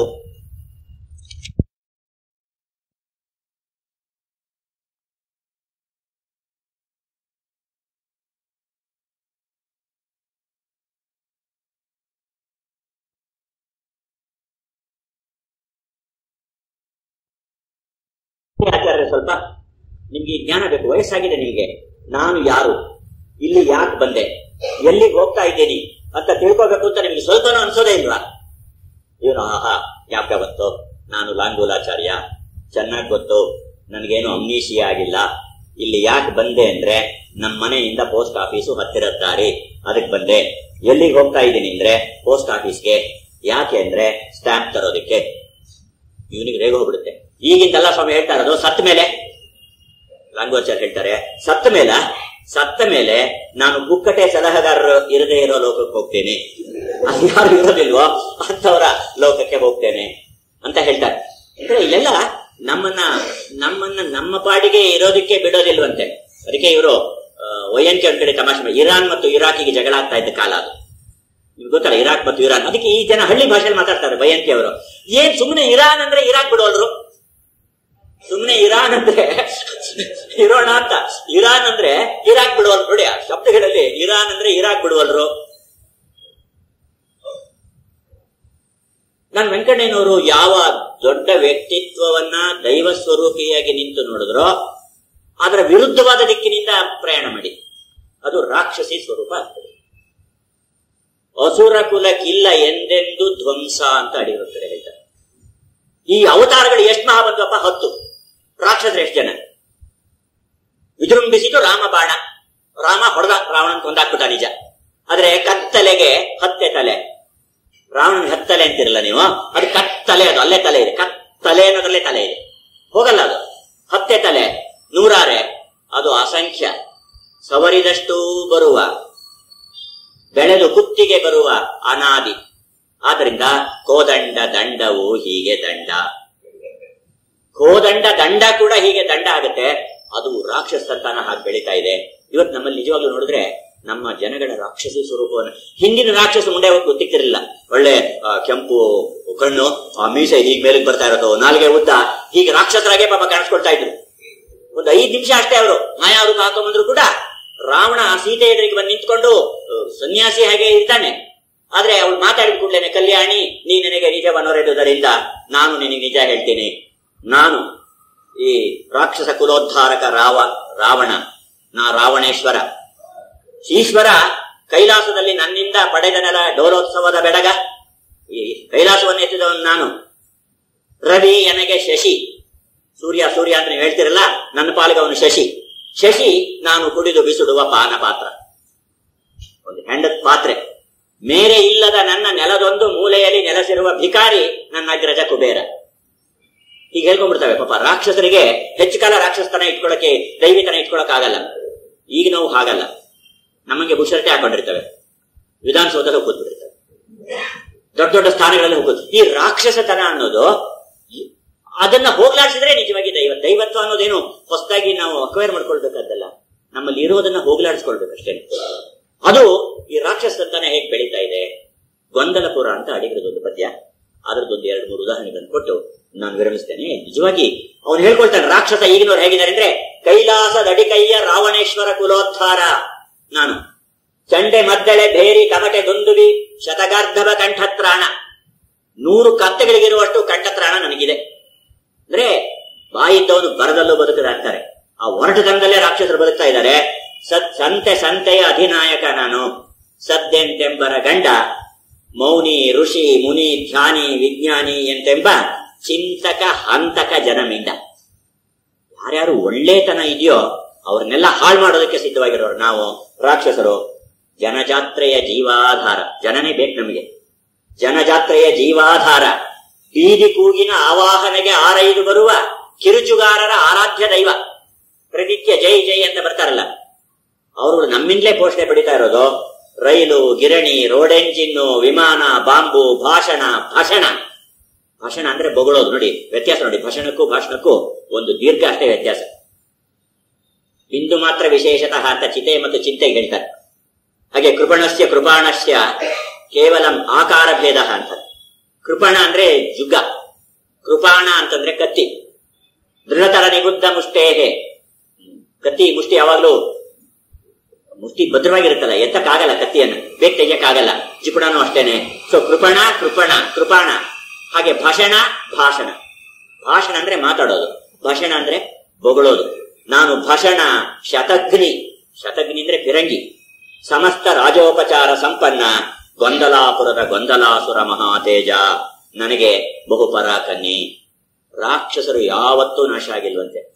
ಅವನು ಹೇಳ್ತಾನೆ, ಹತ್ತು ಅವತಾರ ರಂಗೋಲೆ ಕೆಳಗೆ ತೂರಿ ಬದುಕಿದೆ ಅಸುರ ದರ್ಪ.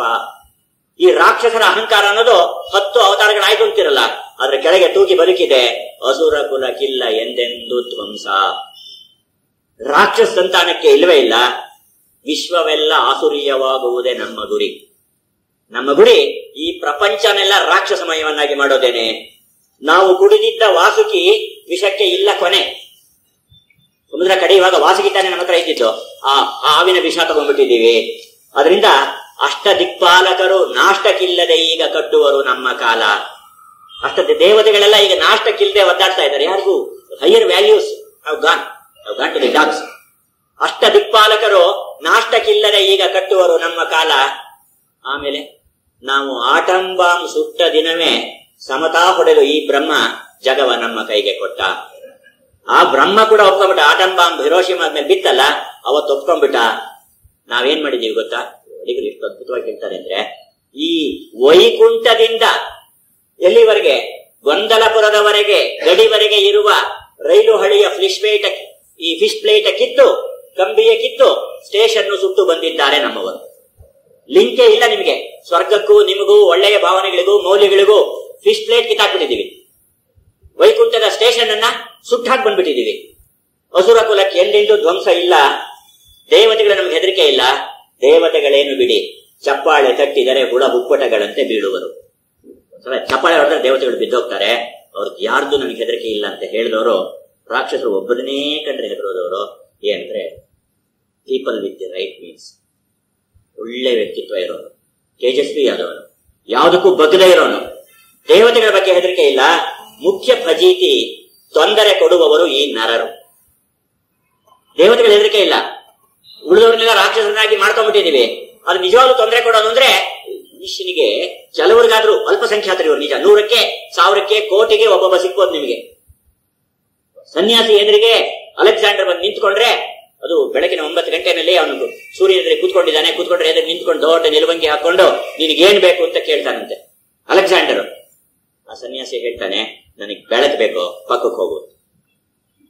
ಈ ಆತ್ಮಶಕ್ತಿ ಉಳ್ಳವರಿದಾರಲ್ಲ ಅವರು ಅವ್ರದ್ದೇ ನನಗೆ ಹೆದರಿಕೆ, ತೊಂದರೆ ಕೊಡುವವರು ಈ ನರರು. ಅವರಲ್ಲೂ ಶೇಕಡ ತೊಂಬತ್ಮೂರು ಜನ ನಮ್ಮ ಪಕ್ಷದ ಪತ್ರಕ್ಕಾಗಲೇ ಸಹಿ ಹಾಕಿದ್ದಾರೆ. ಈ ಮನುಷ್ಯರಲ್ಲೂ ತೊಂಬತ್ಮೂರು ಜನ ನಮ್ಮ ರಾಕ್ಷಸ ಸಂತಾನಕ್ಕೆ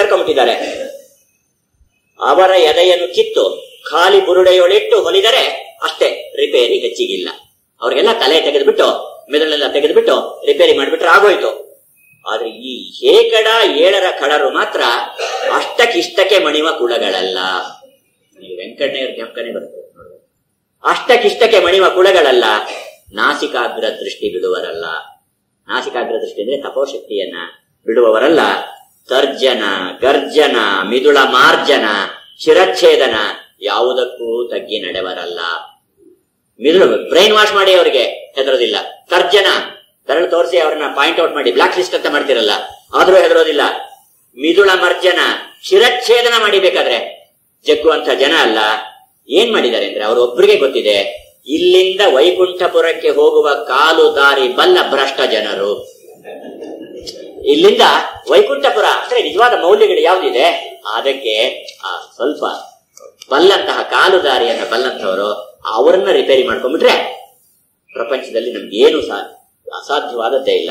ಆದ್ರೆ ಅವರು ಮಾತ್ರ ಯಾಕೋ ಜಗತಾ ಇಲ್ಲ. ಕೇವಲ ಶೇಖರ್ ಅಂದ್ರೆ ನಿಜವಾಗಿ ಉದ್ವಸ್ತವಾಗಿರುವ ಈ ಸಮಾಜದಲ್ಲಿ ಸಮುದಾಯ ಭಾವನೆ ನಾಶವಾಗಿರುವಂತ ಕಾಲದಲ್ಲಿ, ರಾಕ್ಷಸ ಸಂತಾನ ಬೆಳೀತಾ ಇರುವಂತ ಕಾಲದಲ್ಲಿ ನಿಜವಾಗ್ಲೂ ಸರಿಯಾದ ರೀತಿಯಲ್ಲಿ ನಡ್ಕೊಳ್ಳುವಂತ ತುಂಬಾ ಸರಿಯಾದ ಚಿಂತನೆಯನ್ನು ಮಾಡುವಂತ ಸಮಾಜದ ಏಳಿಗೆಯನ್ನೇ ಬಯಸುವಂತ ಬಹಳ ಅಲ್ಪ ಜನ ಇದ್ದಾರೆ. ಇವರು ಅಲ್ಪಸಂಖ್ಯಾತರು, ಅವ್ರು ಇರಬೇಕು. ಸರ್ಕಾರ ಅವ್ರನ್ನ ಉದ್ಧಾರ ಮಾಡಬಾರ್ದು ಪಾಪ. ಅಲ್ಪಸಂಖ್ಯಾತರ ಉದ್ದೇಶ ತಾನೇ ಸರ್ಕಾರದ ಗುರಿ ಇವಾಗ. ಅವ್ರನ್ನ ಉದ್ಧಾರ ಮಾಡುತ್ತಾನೆ. ಆದ್ರೆ ದಯವಿಟ್ಟು ಈ ಅಲ್ಪಸಂಖ್ಯಾತರನ್ನ ಯಾರು ಉದ್ಧಾರ ಮಾಡಬೇಡಿ. ಅವ್ರು ಹಾಗೆ ಇರ್ಲಿ. ಹಾಗಿದ್ರೇನೆ ಲೋಕ ಬದುಕೊಳ್ಳುತ್ತೆ. ಇದರಲ್ಲಿ ಈ ರಾಕ್ಷಸತ್ವ ಎಷ್ಟು ಉಗ್ರವಾಗ್ತಾ ಇದೆ, ಅದು ಹೇಗೆ ಹೋಗ್ಬೇಕು? ಅದನ್ನ ಎಷ್ಟು ಉದಾಹರಣೆಗಳಿಂದ ಕೊಡ್ತಾರೆ? ನೆಹರು ನಿವೃತ್ತರಾಗುವುದಿಲ್ಲ ಅಂತ ಇದೆ.